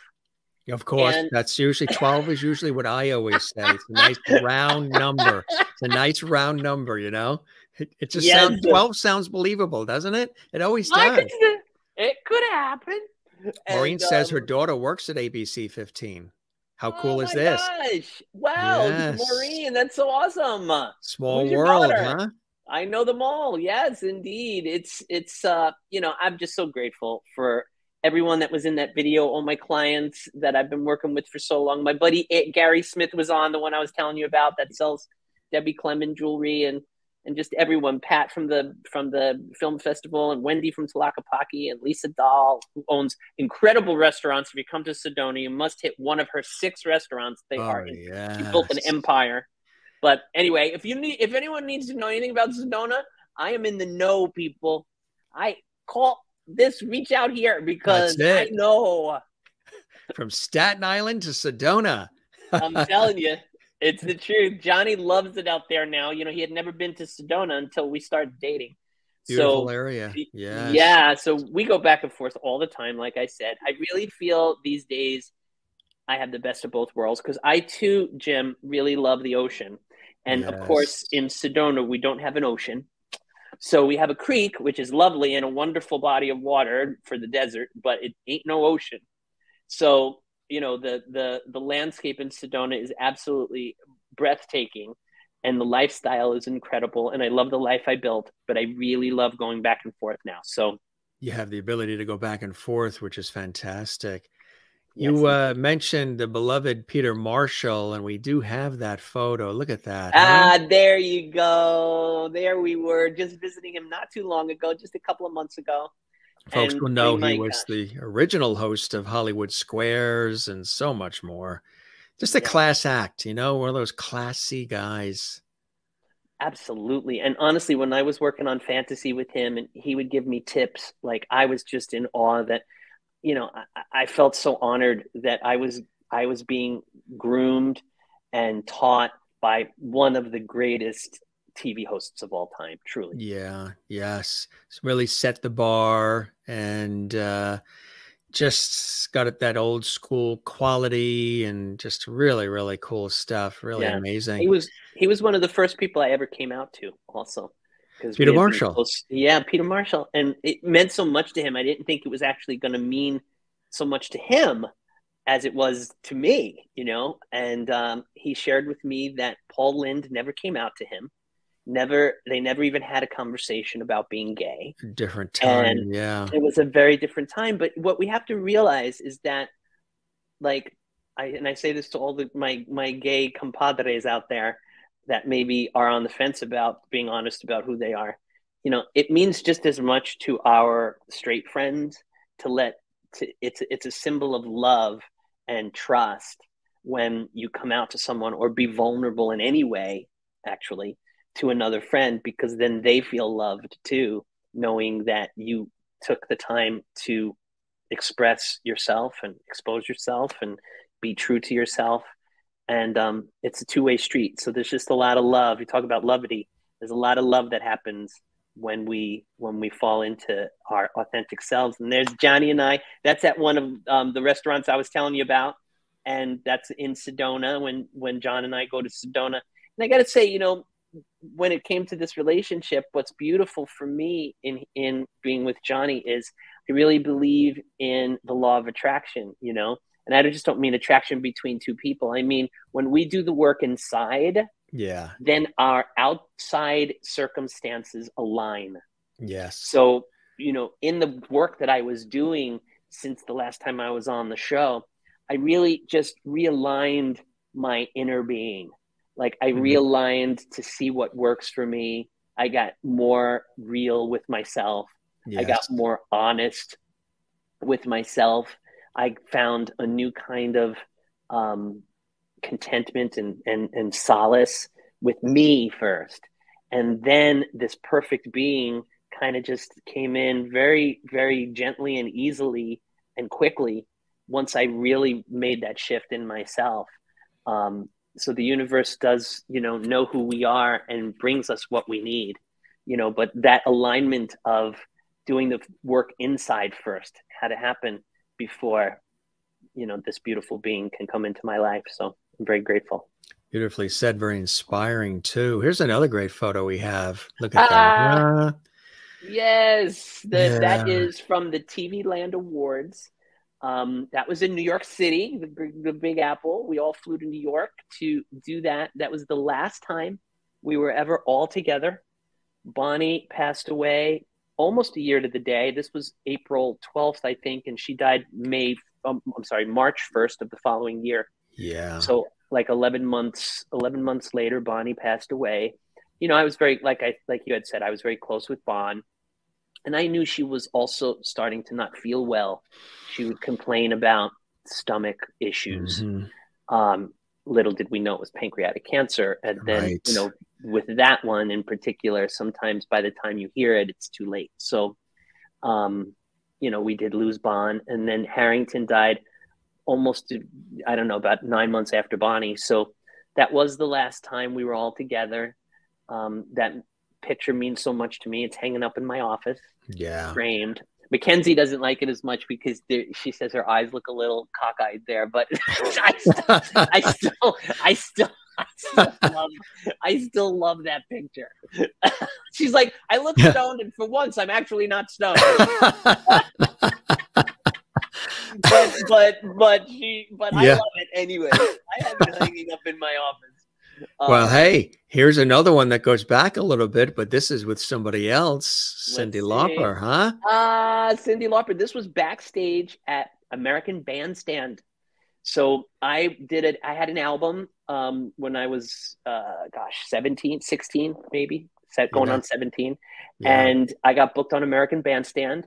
And she was the other guest that day. No one knew her. She was brand new. She, she's saying girls just want to have fun and time That's after right. time.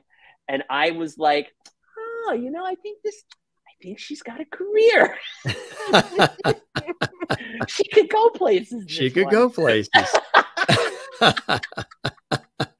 and boy did she and i love her i ran into her Yes. not too long ago it was fun to reconnect with her she did a guest spot on um, a fran drescher show called happily divorced oh yes. um, which was on the tv land i went to the i went to the taping of that because my one of my buddies uh, frank lombardi was a writer on the show and um, and i got to see i got to see her after all those years so that was Isn't kind of that fun cool? And it, was it like time hadn't passed? time after time, Time after time. Perfect segue. Perfect segue. Here's Yes, shot of you. This is when you were chatting with uh, Dick Clark, right? Yes, that was American Bandstand. In fact, John and his friends at ABC, because you know he does Pyramid on ABC, went through the archives because I had no pictures from American Bandstand, and they looked through the ABC archives and found these pictures. So now I have actual prints that I hang up physically on the wall, old school, Jim. Yes. And um, and this is one of the ones I treasure because that's such a great shot. I'm just so just so proud to have been on that show. Now, was singing something that you knew you wanted to do as well? Like you said, when you were a kid, you were really selling the parents on the acting. Was the singing something that you knew you wanted to do, or how did that happen? Yeah, you know, I always sang. In some ways, I sang before I acted. You know, I, I I loved it. I was born in the wrong generation. I was one of those kids. Like I knew, I watched every MGM musical. I listened to Sinatra and Bobby Darin when I was growing. Up. Like they were my idols. I I certainly um, was very motivated by music and specifically musicals. Yeah. So I always knew I would do musical theater, like so that was all part of the vision. Yeah, it was it was performing. I, I I always begged to be a performer. I would say more so than just an actor. You know. Even to the point of climbing poles, Ah! well, you just see- hanging around with Glenn. yeah. Well, basically, the way this works out is I'm still a pole dancer. I don't know if you know this about me. Yes, But- I did my research. yes, every every Thursday night in Sedona, you can come catch me pole dancing at one of the famous restaurants. I'm kidding. It's I was going to say something else, but this is a family show. Uh, they wouldn't believe it with that uh, that face there, that mug. You know. oh my gosh, yeah, it's fooled a lot of people. That mug, That's- let me that's tell you. That's it. That's it. This is a great shot too of some of uh, TV's favorites, huh? Yes, indeed, all my favorite friends, and you know, um, I just had lunch with Mindy Cohn this past really? Friday, and she and I, yeah, if you go to my How's she Instagram doing? page, I posted a picture from it. She's doing so wonderful. I'm so proud of her. That's She's, you know, a, a cancer survivor. Yes. and just everything that she does in her life is just she's an inspiration truly and kim fields and i text all the time i was texting with her this weekend we're still in touch todd bridges i've seen recently danielle brisebois who's in that picture too she and i keep in touch she's out your way now though she moved east She did come So- east, huh? Yeah so i haven't seen her physically in a very long time so one of these days when i get to new york i told her we are going to get together Oh, that's awesome, huh? yes That is fantastic. And like you say, Kim Fields in the middle there as well. It's yes I tell you, huh? great times Remember, I mentioned uh, one of the reasons why they probably selected you for One Day at a Time is they saw, you know, this East Coast kid coming with his thirst, his passion, his energy, and his spunk. Well, I know that you had that actually verified from the guy who told Mary Tyler Moore she had spunk, Ed Asner. Ah, Ed. yes, indeed. How's that for a Oh segue? that was a great segue, Jim. Yes, he you got spunk. Um, um, Ed has always been really wonderful to me. The reason I, I knew him was because he and Harrington are were very close, dear friends, like Oh, best yeah. friends, and they work together very often. Um, they had their advocacy that they did together. They had their politics. Ed ran for um, uh, for the president of SAG, and Yes. I know Har- Harrington. I think he might have even won, if I recall. Yes. Um, and Harrington uh, was on his campaign board, and you know helped him, you know, do that. And they were very, very close. So this picture happened to be taken in Sedona, believe it or Mhm. not, in uh, at the Sedona International Film Festival. Um, Ed used to come out all the time, so every time he'd come out, we'd make sure we got together and went to dinner or something. So. And Mary Tyler Moore was my favorite show growing up. Oh my gosh, I love that show so much. Uh, So, so just to share with you, also Johnny and I both last year, as soon as we met, we both had hernia surgeries, long overdue hernia surgeries. did you really? Yeah. So how romantic! We nursed our way, or we nursed each other through hernia surgeries in the first year of our relationship. No, was it a But- two for one discount special or something? Let's do No, it now. There's a two for one. Buy one, get one. yeah, exactly. Well, he did his first, and then I was able to nurse him, and then I he was all good. Yeah, you saw I he had to do it survived so that and it was could- good. And then you said, I think, okay, I'll do it. Yes, and we call them we call them matching him and him hymnias instead of hernias. so so we had we we shared our hymnia surgeries and during our um you know getting better our healing process we binge watched from the beginning the entire seven seasons of the mary tyler moore show. So it was so wonderful. It was so wonderful to watch after all this time and to um laugh along and brought up so many memories. I just love that show. And seeing ed is so wonderful You know what's cool is those nostalgic networks, networks like Decades and uh, Antenna TV and Cozi Antenna. TV. Where Yeah. on the weekends they do these binge weekends with some of the beloved series, where the whole two days is you know the Mary Tyler Moore Show, Dick Van Dyke Yeah. whatever it may be, which is really cool. I think they've even done it with the Love Boat. Ah, yes, indeed. Exciting and new. Yes. Jack Jones. So uh for the folks watching, because I know they love this story too, how did this happen? I mean, everybody who was anybody of the time period was on that show or Fantasy Island. Correct. Yeah. Yeah. I, I I was on one day at a time and I was asked to do it, you know, but I really was best friends with Jill Whelan from Love Boat and I Oh, still yes. am. Yeah. We see each other all the time. Um I just texted with her a couple days ago and we're gonna get together for dinner very soon. Cool. Um and we're gonna see each other oh wait at the at the autograph show this year, which I know we're gonna get to. Yes. Uh, Jill Jill too is going to be there, and Mackenzie, and a whole bunch of us. And um, but that's you know, Jill was my first screen kiss ever. Like I'd never kissed a I'd never kissed a girl. I kissed a girl, and I liked it. and I liked and it.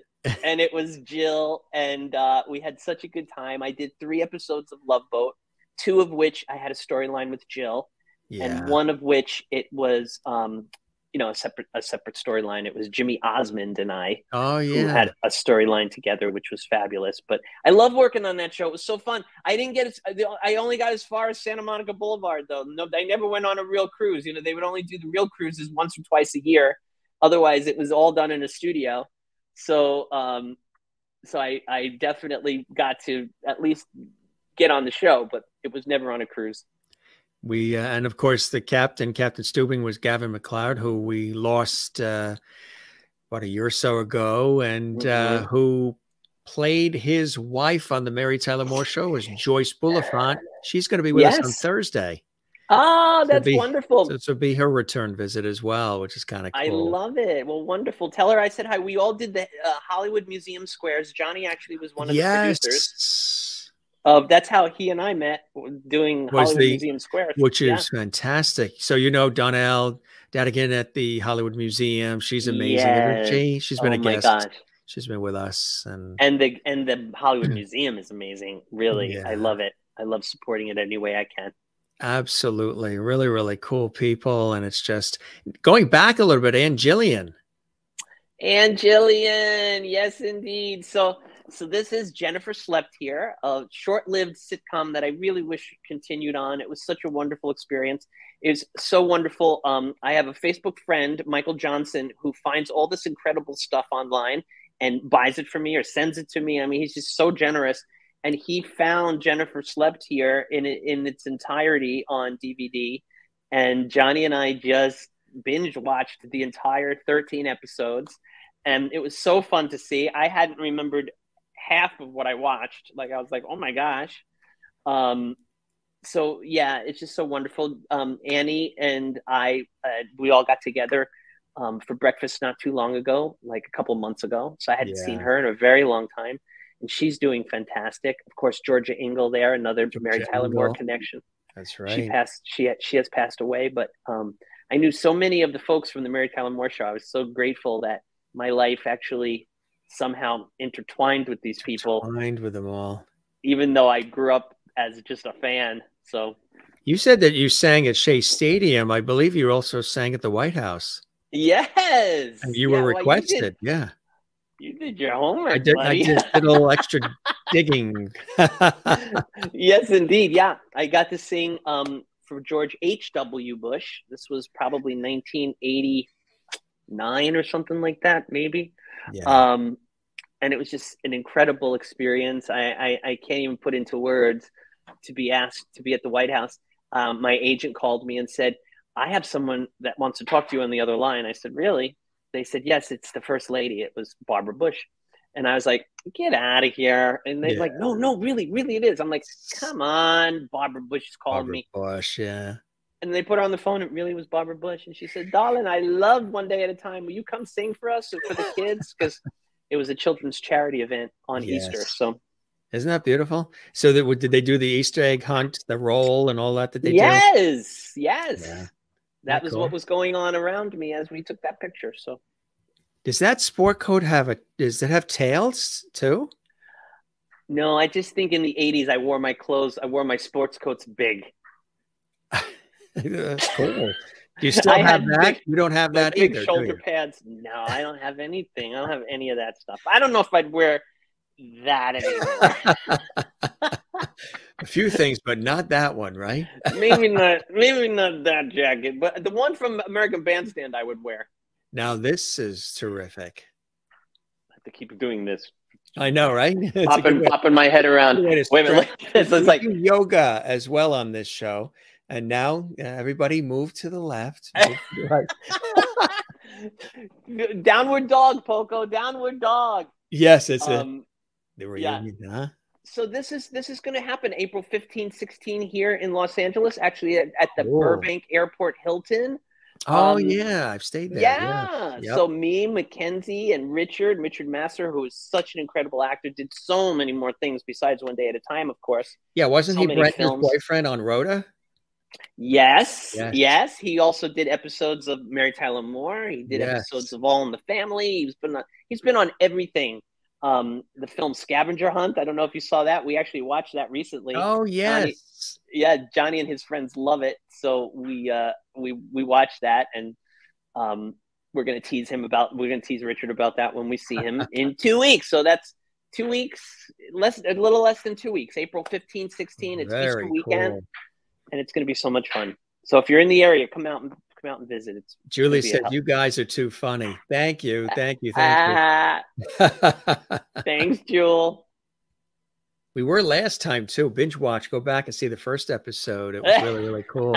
okay, good. and then this, yeah. So this is happening at the autograph show too. This Charo. Love, a love boat reunion. Charo, coochie coochie, coochie coochie, coochie coochie, Jim Masters. That's my charm. That's my. That's my Char impersonation. I'm not. I'm no Rich Little. Let's put it that way.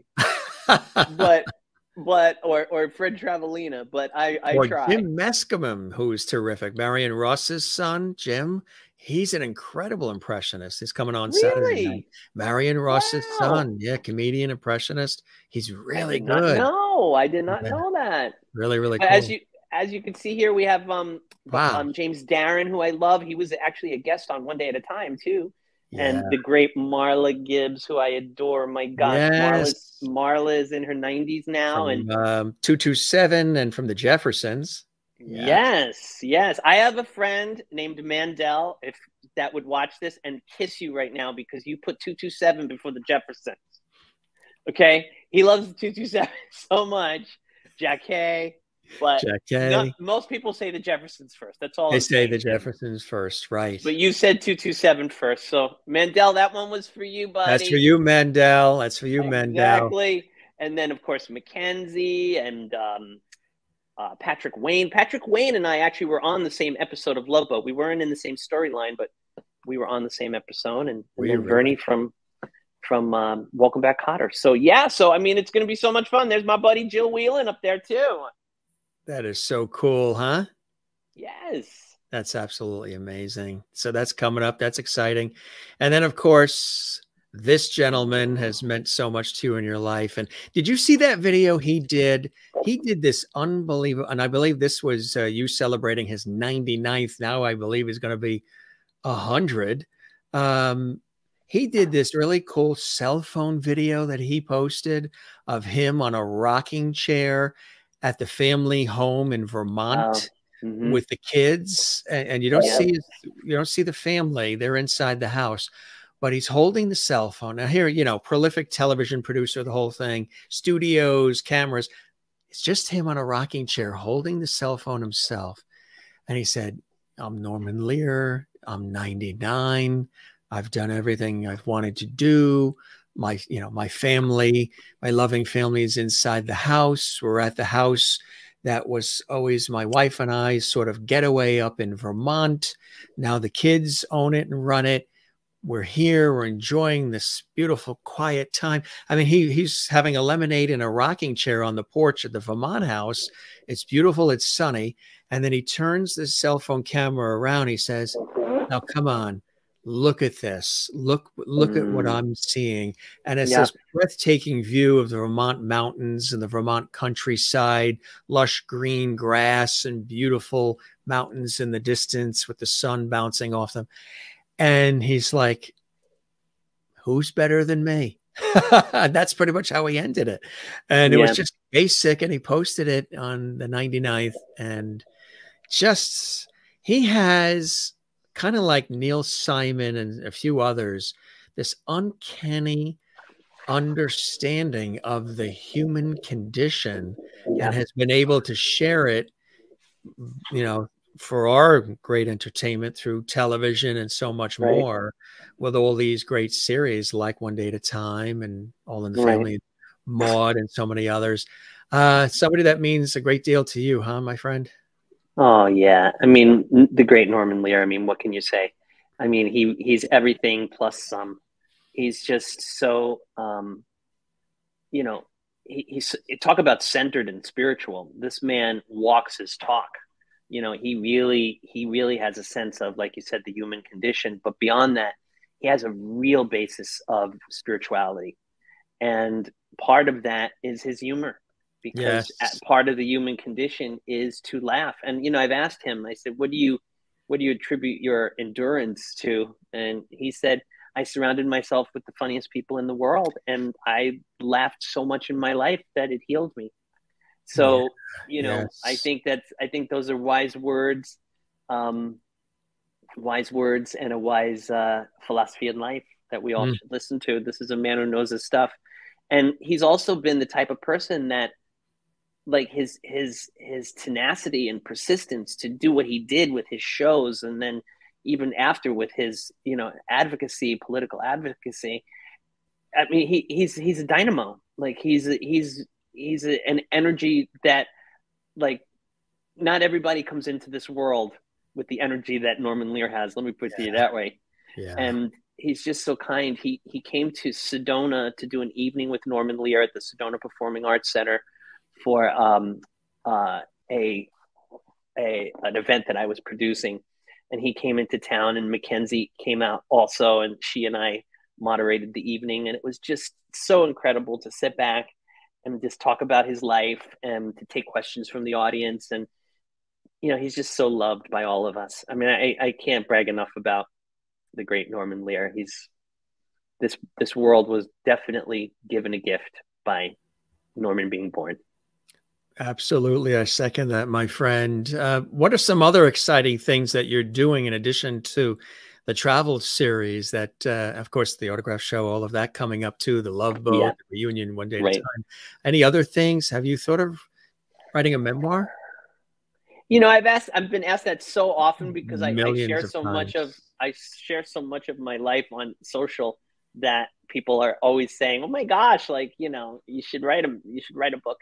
Um, I, I, I haven't really ever thought about sitting down to do that. That's a, it's a big undertaking, but someday maybe. But I have thought about doing it as a one man show where I could actually perform and tell some stories and show some pictures and do it in that form, um, which I think would be a lot more fun. I'm more motivated to maybe put energy into doing it that way.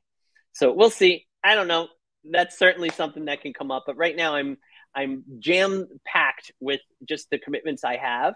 Yeah. Like I said, Johnny and I, Johnny and I always have fun ideas t- tossing around, and it's a new chapter of my life. So I'm also leaving balance and time for this relationship too. You know, I think that's really important in life is to, you know, because I know my workaholism is a thing. Mm-hmm. That I mm-hmm. try not to always just take on another project, take on another project. Those boundaries we were talking about, yes are, what i'm trying to do here in this new chapter of my life where i could allow myself to be and give myself space to be.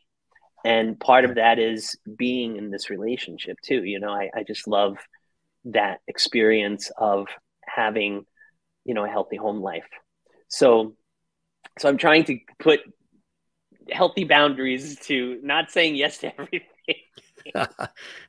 is it amazing how our conversation, which is, I don't call these interviews, they call these conversations, uh, has gone full circle? Yeah. Kind of like we, we, we started in this vein, you know, talking about this and has come full circle in this way. And I think it's absolutely beautiful. You're loving the ride and you're still discovering who Glenn is along the way, which is a beautiful experience that not everybody has an opportunity to experience like me going into Death Valley. A lot of people said, you know, Jim, that was a gift. A lot of people don't get that opportunity to have that self exploration by being alone in a rental car in Death Valley. It was a blessing and a gift you were given. And uh, I think you're very aware of the gifts. Life is a little bit more centered, maybe for you, and you know, with all the wonderful things that have happened that you know you wouldn't probably trade. Still, uh, you're at a different point and spot in your life that is uh, at a deeper level and and extra meaningful. Not that it wasn't before; it was definitely that, but extra meaningful as you continue to go forward. You're just really soaking it all up in a beautiful way, huh? Yeah, I mean that's what life's all about. You know, I it's so interesting because so much of the the work that I've done over the last you know two years since we've spoken is about staying in the moment. You know, I know we've talked about this too, especially the first time I was on the show, because really the moment's all we have. So I try not to get too ahead of myself. And then I also try not to look in the rearview mirror very often. So it's that fine balance of um, appreciating that which is right here, right now. And it's all we ever need. It's all we ever need. We have right here in this moment. We can't look at what we don't have. We can't what we want. Like all of that is just thoughts in our head that um, confuse what life is because everything that's precious is literally right here, right now. So, on the Jim Master Show live. the, exactly. you fed the line, I grabbed it. But it's so true. It really is. You know, sometimes we're always chasing the rainbow all the time, and we forget that. Uh, hey, it's not so bad right now. You know what I mean? It's not so bad right now. So just soak it up and breathe it and and pay it forward, which I know you love to do. Uh, Merlin's watching in Canada, and she says, "I wish you the best with the endeavors that you choose. Love it." Really, really nice. And of course, Dwight is here. Glenn has a special gift of love and happiness, and that is why he is a dear, fabulous friend and a pal. And John is here. We welcome anybody that's new this has been so much fun to watch Glenn, you're such an inspiration. Thank you for joining us, John. Really cool having you here on the show. I would say anybody that's uh, watching our series, you know, we have about almost 650 episodes of this series available to binge watch on our uh, YouTube channel, Jim Masters TV. And uh, don't forget to subscribe to the YouTube channel, gang. We would love that. And uh, click the notification bell so you never miss any of the episodes. And also give it a like if you loved this conversation with our buddy Glenn Scarpelli. Absolutely. Give it a uh, hearty thumbs up like on our YouTube channel and leave a comment on the YouTube channel as well. This was absolutely epic as I knew it would be, Glenn. It always is when we get together. It's as if, you know, we've known each other. It's as if we lived across the street from each other. Yeah, true. Some of the, if you really think about the things that we talked about from from childhood and family and, and just empathy and inspiration and careers. And, you know, we both work in the broadcast medium, television, and uh, we love it, the craziness of it all, but we still, we still love it. And, uh, we went in so many different directions that I think was really rich and really connecting for us. And obviously for all the lovities that are watching around the world, we, uh, we love that. Kathleen's a dear friend of mine as well, and I know she she loves your work. You're a blessing. I know she was all excited here, and uh, you're the most amazing guy ever. Paisan coming in from Paisan, Jersey. Frank. Love from so Jersey. great. Another amazing show. Thank you, Jim and Glenn. And in Southern California, you're very welcome. Jane watching in Sweden. Thanks, Glenn, for being here. Thanks, Jim. It is our pleasure. Uh, Nikki is here. Yes, an upper show for sure. Bless your plans, Glenn. I love that. Bless your plans. Thank is that you. really nice? Really That's cool. beautiful. Uh, Yeah. Sherry Larson's in Kansas. Thank you, Glenn, for being here. You're fantastic, hilarious. What a beautiful heart you have. And uh, this has been so much fun to watch. He's such an inspiration. Thank you very much. We really appreciate that. Maureen says, keep your eyes on the future, but don't be afraid to look back. Your past has brought you to where you are today. You're an amazing human, Glenn. This has been such a load of fun. Absolutely, Maureen. Glenn and I knew it would be. If you didn't see the first episode he was on, that was hilarious too. And I said, Hey, want to hop back on? And Glenn said, Absolutely. Let's make it happen. And here he is. Great show. So much fun from Julie. Dwight, of course. Another fun, great interview. Glenn and Jim, thank you very much. Always a pleasure to hear from you, Glenn. I love you so much. Mary in Florida, Pine Island, Florida. This was such a fun show. Thanks, Glenn and Jim. You are Mary, I know Mary Bishop. She writes to me a lot. Mary's wonderful, isn't she? She's Yes. of our real lovities. Great stuff. Thank you, Glenn, for being here. Love you from Minnesota. Denise. Denise, great to see you, Denise. Yeah, so I love this merge of the fans with our lovities. That's a beautiful way to do it. Somebody else too that's back with us, Mr. George Burns. Nice. Did you ever work with him? Never. Never I had the wish. chance, huh? No, I met him once, but I You never did. worked with him. Yeah. Cool guy. He played God, of course, as we know. You are the best, my friend. I really appreciate all this time, all the wit and wisdom, being so open and so authentic. Uh, truly a levity, but you were already dubbed that uh, a while back. So uh, levity times two. I hope the show met whatever expectations you had and you enjoyed the time with me as much as I and everybody watching did with you, my friend. Definitely. Oh my gosh, I love it all the time, Jim. Thank you so much for inviting me back. And I'm just so proud of you and everything you've accomplished with the show. It's unbelievable. Well, we'll keep that porch light on your uh, for you, my friend. You're There amazing. you go. Best of luck with everything. Continue uh, blessings and joy in your life, and uh, I look forward to welcoming you back real soon. Okay, Thank you. Thank you. Absolutely. you're the best. Bye, Glenn. everybody. Thank you. You take care. All right. All right. You too. Bye, everybody. Lovity Hall. Lovely Hall. Thanks, Glenn. Take care. Bye bye. Bye. Glenn Scarpelli on the Jim Master Show Live. Soraya says, Glenn, you are awesome. Absolutely. You guys are terrific. Nice, nice stuff.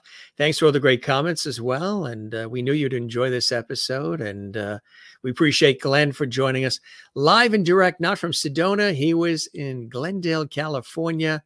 And if you missed any of this episode, well, definitely look for it in the archives. We archive all of the episodes on the YouTube channel, Jim Masters TV. Really cool stuff. Hey, I want to let you know uh, as well the amazing guests that are coming up. Now, if you didn't see the episode when Marion Ross was on the show, she was epic. We had a phenomenal conversation. This Saturday, her son, who's an extraordinary impressionist, comedian, voice artist, yes, he is Jim Meskimen. He's going to be with us on Saturday night. But coming up tomorrow, she's been in Cinderella. She's been on Broadway. She was in Avenue Q and so much more.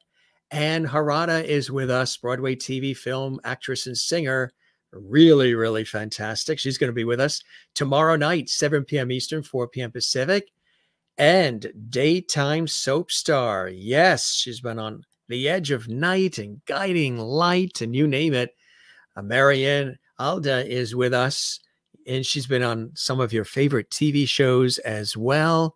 She is going to be with us. She's also a noted speaker, as much as she is a uh, prolific television actress and daytime soap star for years on some of your favorite soap operas. She's here on Wednesday, 7 p.m. Eastern, 4 p.m. Pacific. Joyce Bulifant, actress and television legend extraordinaire author of the book My Four Hollywood Husbands. Yes, she's here on Thursday. That's going to be terrific. So, just some of the guests that are coming through the Jim Masters show live. Do you know who's coming on Sunday? Cousins Gibb. Yes, they are. Well, Nick is the son of Maurice Gibb, yes, of the Bee Gees. And Deborah is the cousin. They are both cousins and they have their own musical group, singers, songwriters extraordinaire, Cousins Gibb, family members of the original Bee Gees, are with us on Sunday at a special time, 2 p.m. Eastern, 11 a.m. Pacific, 7 p.m. in London, United Kingdom, Scotland, Great Britain, all of it as well as in Ireland. So check that out. Yes, the Cousins Gibb are with us on Sunday. That's going to be amazing. It's going to be really, really cool. A lot of great shows, a lot of great people coming up. If you didn't see the episode with the amazing Kreskin, check that out. Or Karen Grassley from uh, Karen Grassley from Little House on the Prairie. She was with us as well. We thank our buddy Glenn Scarpelli for joining us once again here on the Jim Masters Show live entertainment lifestyle talk show series, where we're bringing back the lost art of conversation and we're doing it in style with and for all of you. Hope you guys enjoyed yourself. Thanks for all these great comments and everything else. Another great show. Thank you, Mary, and Archive for tomorrow. That's why those archives are there. Thank you, Jim and Glenn, Kathleen Walker, my pleasure. And everybody else, you guys are the best. Thanks for all these great comments. We love it. From Jersey, Jersey's in the house. Thank you for being here as well. And don't forget, guys, anybody that's new, or if you haven't yet, subscribe to our YouTube channel and uh, give it some lovity or JMS lovity. Give it a thumbs up if you enjoyed this episode and leave a comment for us on the YouTube channel. Uh, we don't just say that randomly, that really helps us get the word out and uh, so much more. Thanks for being with us, Denise. We really appreciate it. We love having you here as well. Great to see you and uh, and everybody. A lot of great uh, folks who've been chiming in. You're very welcome, Mary. You're very welcome, Dwight and Julie, and everybody watching, whether you're a regular viewer one of our lovely squad members, or you're brand new, we thank you very, very much for your time, your attention, and for being with us. We don't do rush interviews. We have conversations on the Jim Master Show live. Neat show, Jim. Thank you, Nikki. I appreciate that. If you guys want to help support us, there's a little uh, heart button on our YouTube channel. It says thanks. Feel free to do that. Some of you have been doing that. That helps support the series. Don't forget the thumbs up like on the uh, channel underneath this episode on YouTube and also leave a comment for us. We would love that. Thank you, Jane, watching in Sweden. Maureen says, Jim, you knocked this one out of the park. Thank you so much for this wonderful conversation. The pleasure is all mine, Maureen. The pleasure is all mine. Thanks for all the participation, gang. We tried to get as many comments as we could. Hopefully, we got to quite a few of them. There's there's so many of them, but um, Thank you, Jim, for another fantastic evening. Good night, everyone. Sweet dreams to all. Love and hugs from Sherry Larson in Kansas, USA. Love it. We've heard from all around the world today, too. If you missed uh, having an opportunity to chat with us live and chat with all of these great comments, leave a comment for us on our YouTube channel. We're very responsive there as well. You guys are the best. Thanks for being with us. We appreciate it. We love all of you and uh, keep spreading the word about our show. This is the Jim Masters Show Live, entertainment lifestyle talk show series, bringing back the Lost Art Conversation with guests that come in from all walks of life, celebrity friends, and so much more. We always have a good time, and we have the good time with all of you.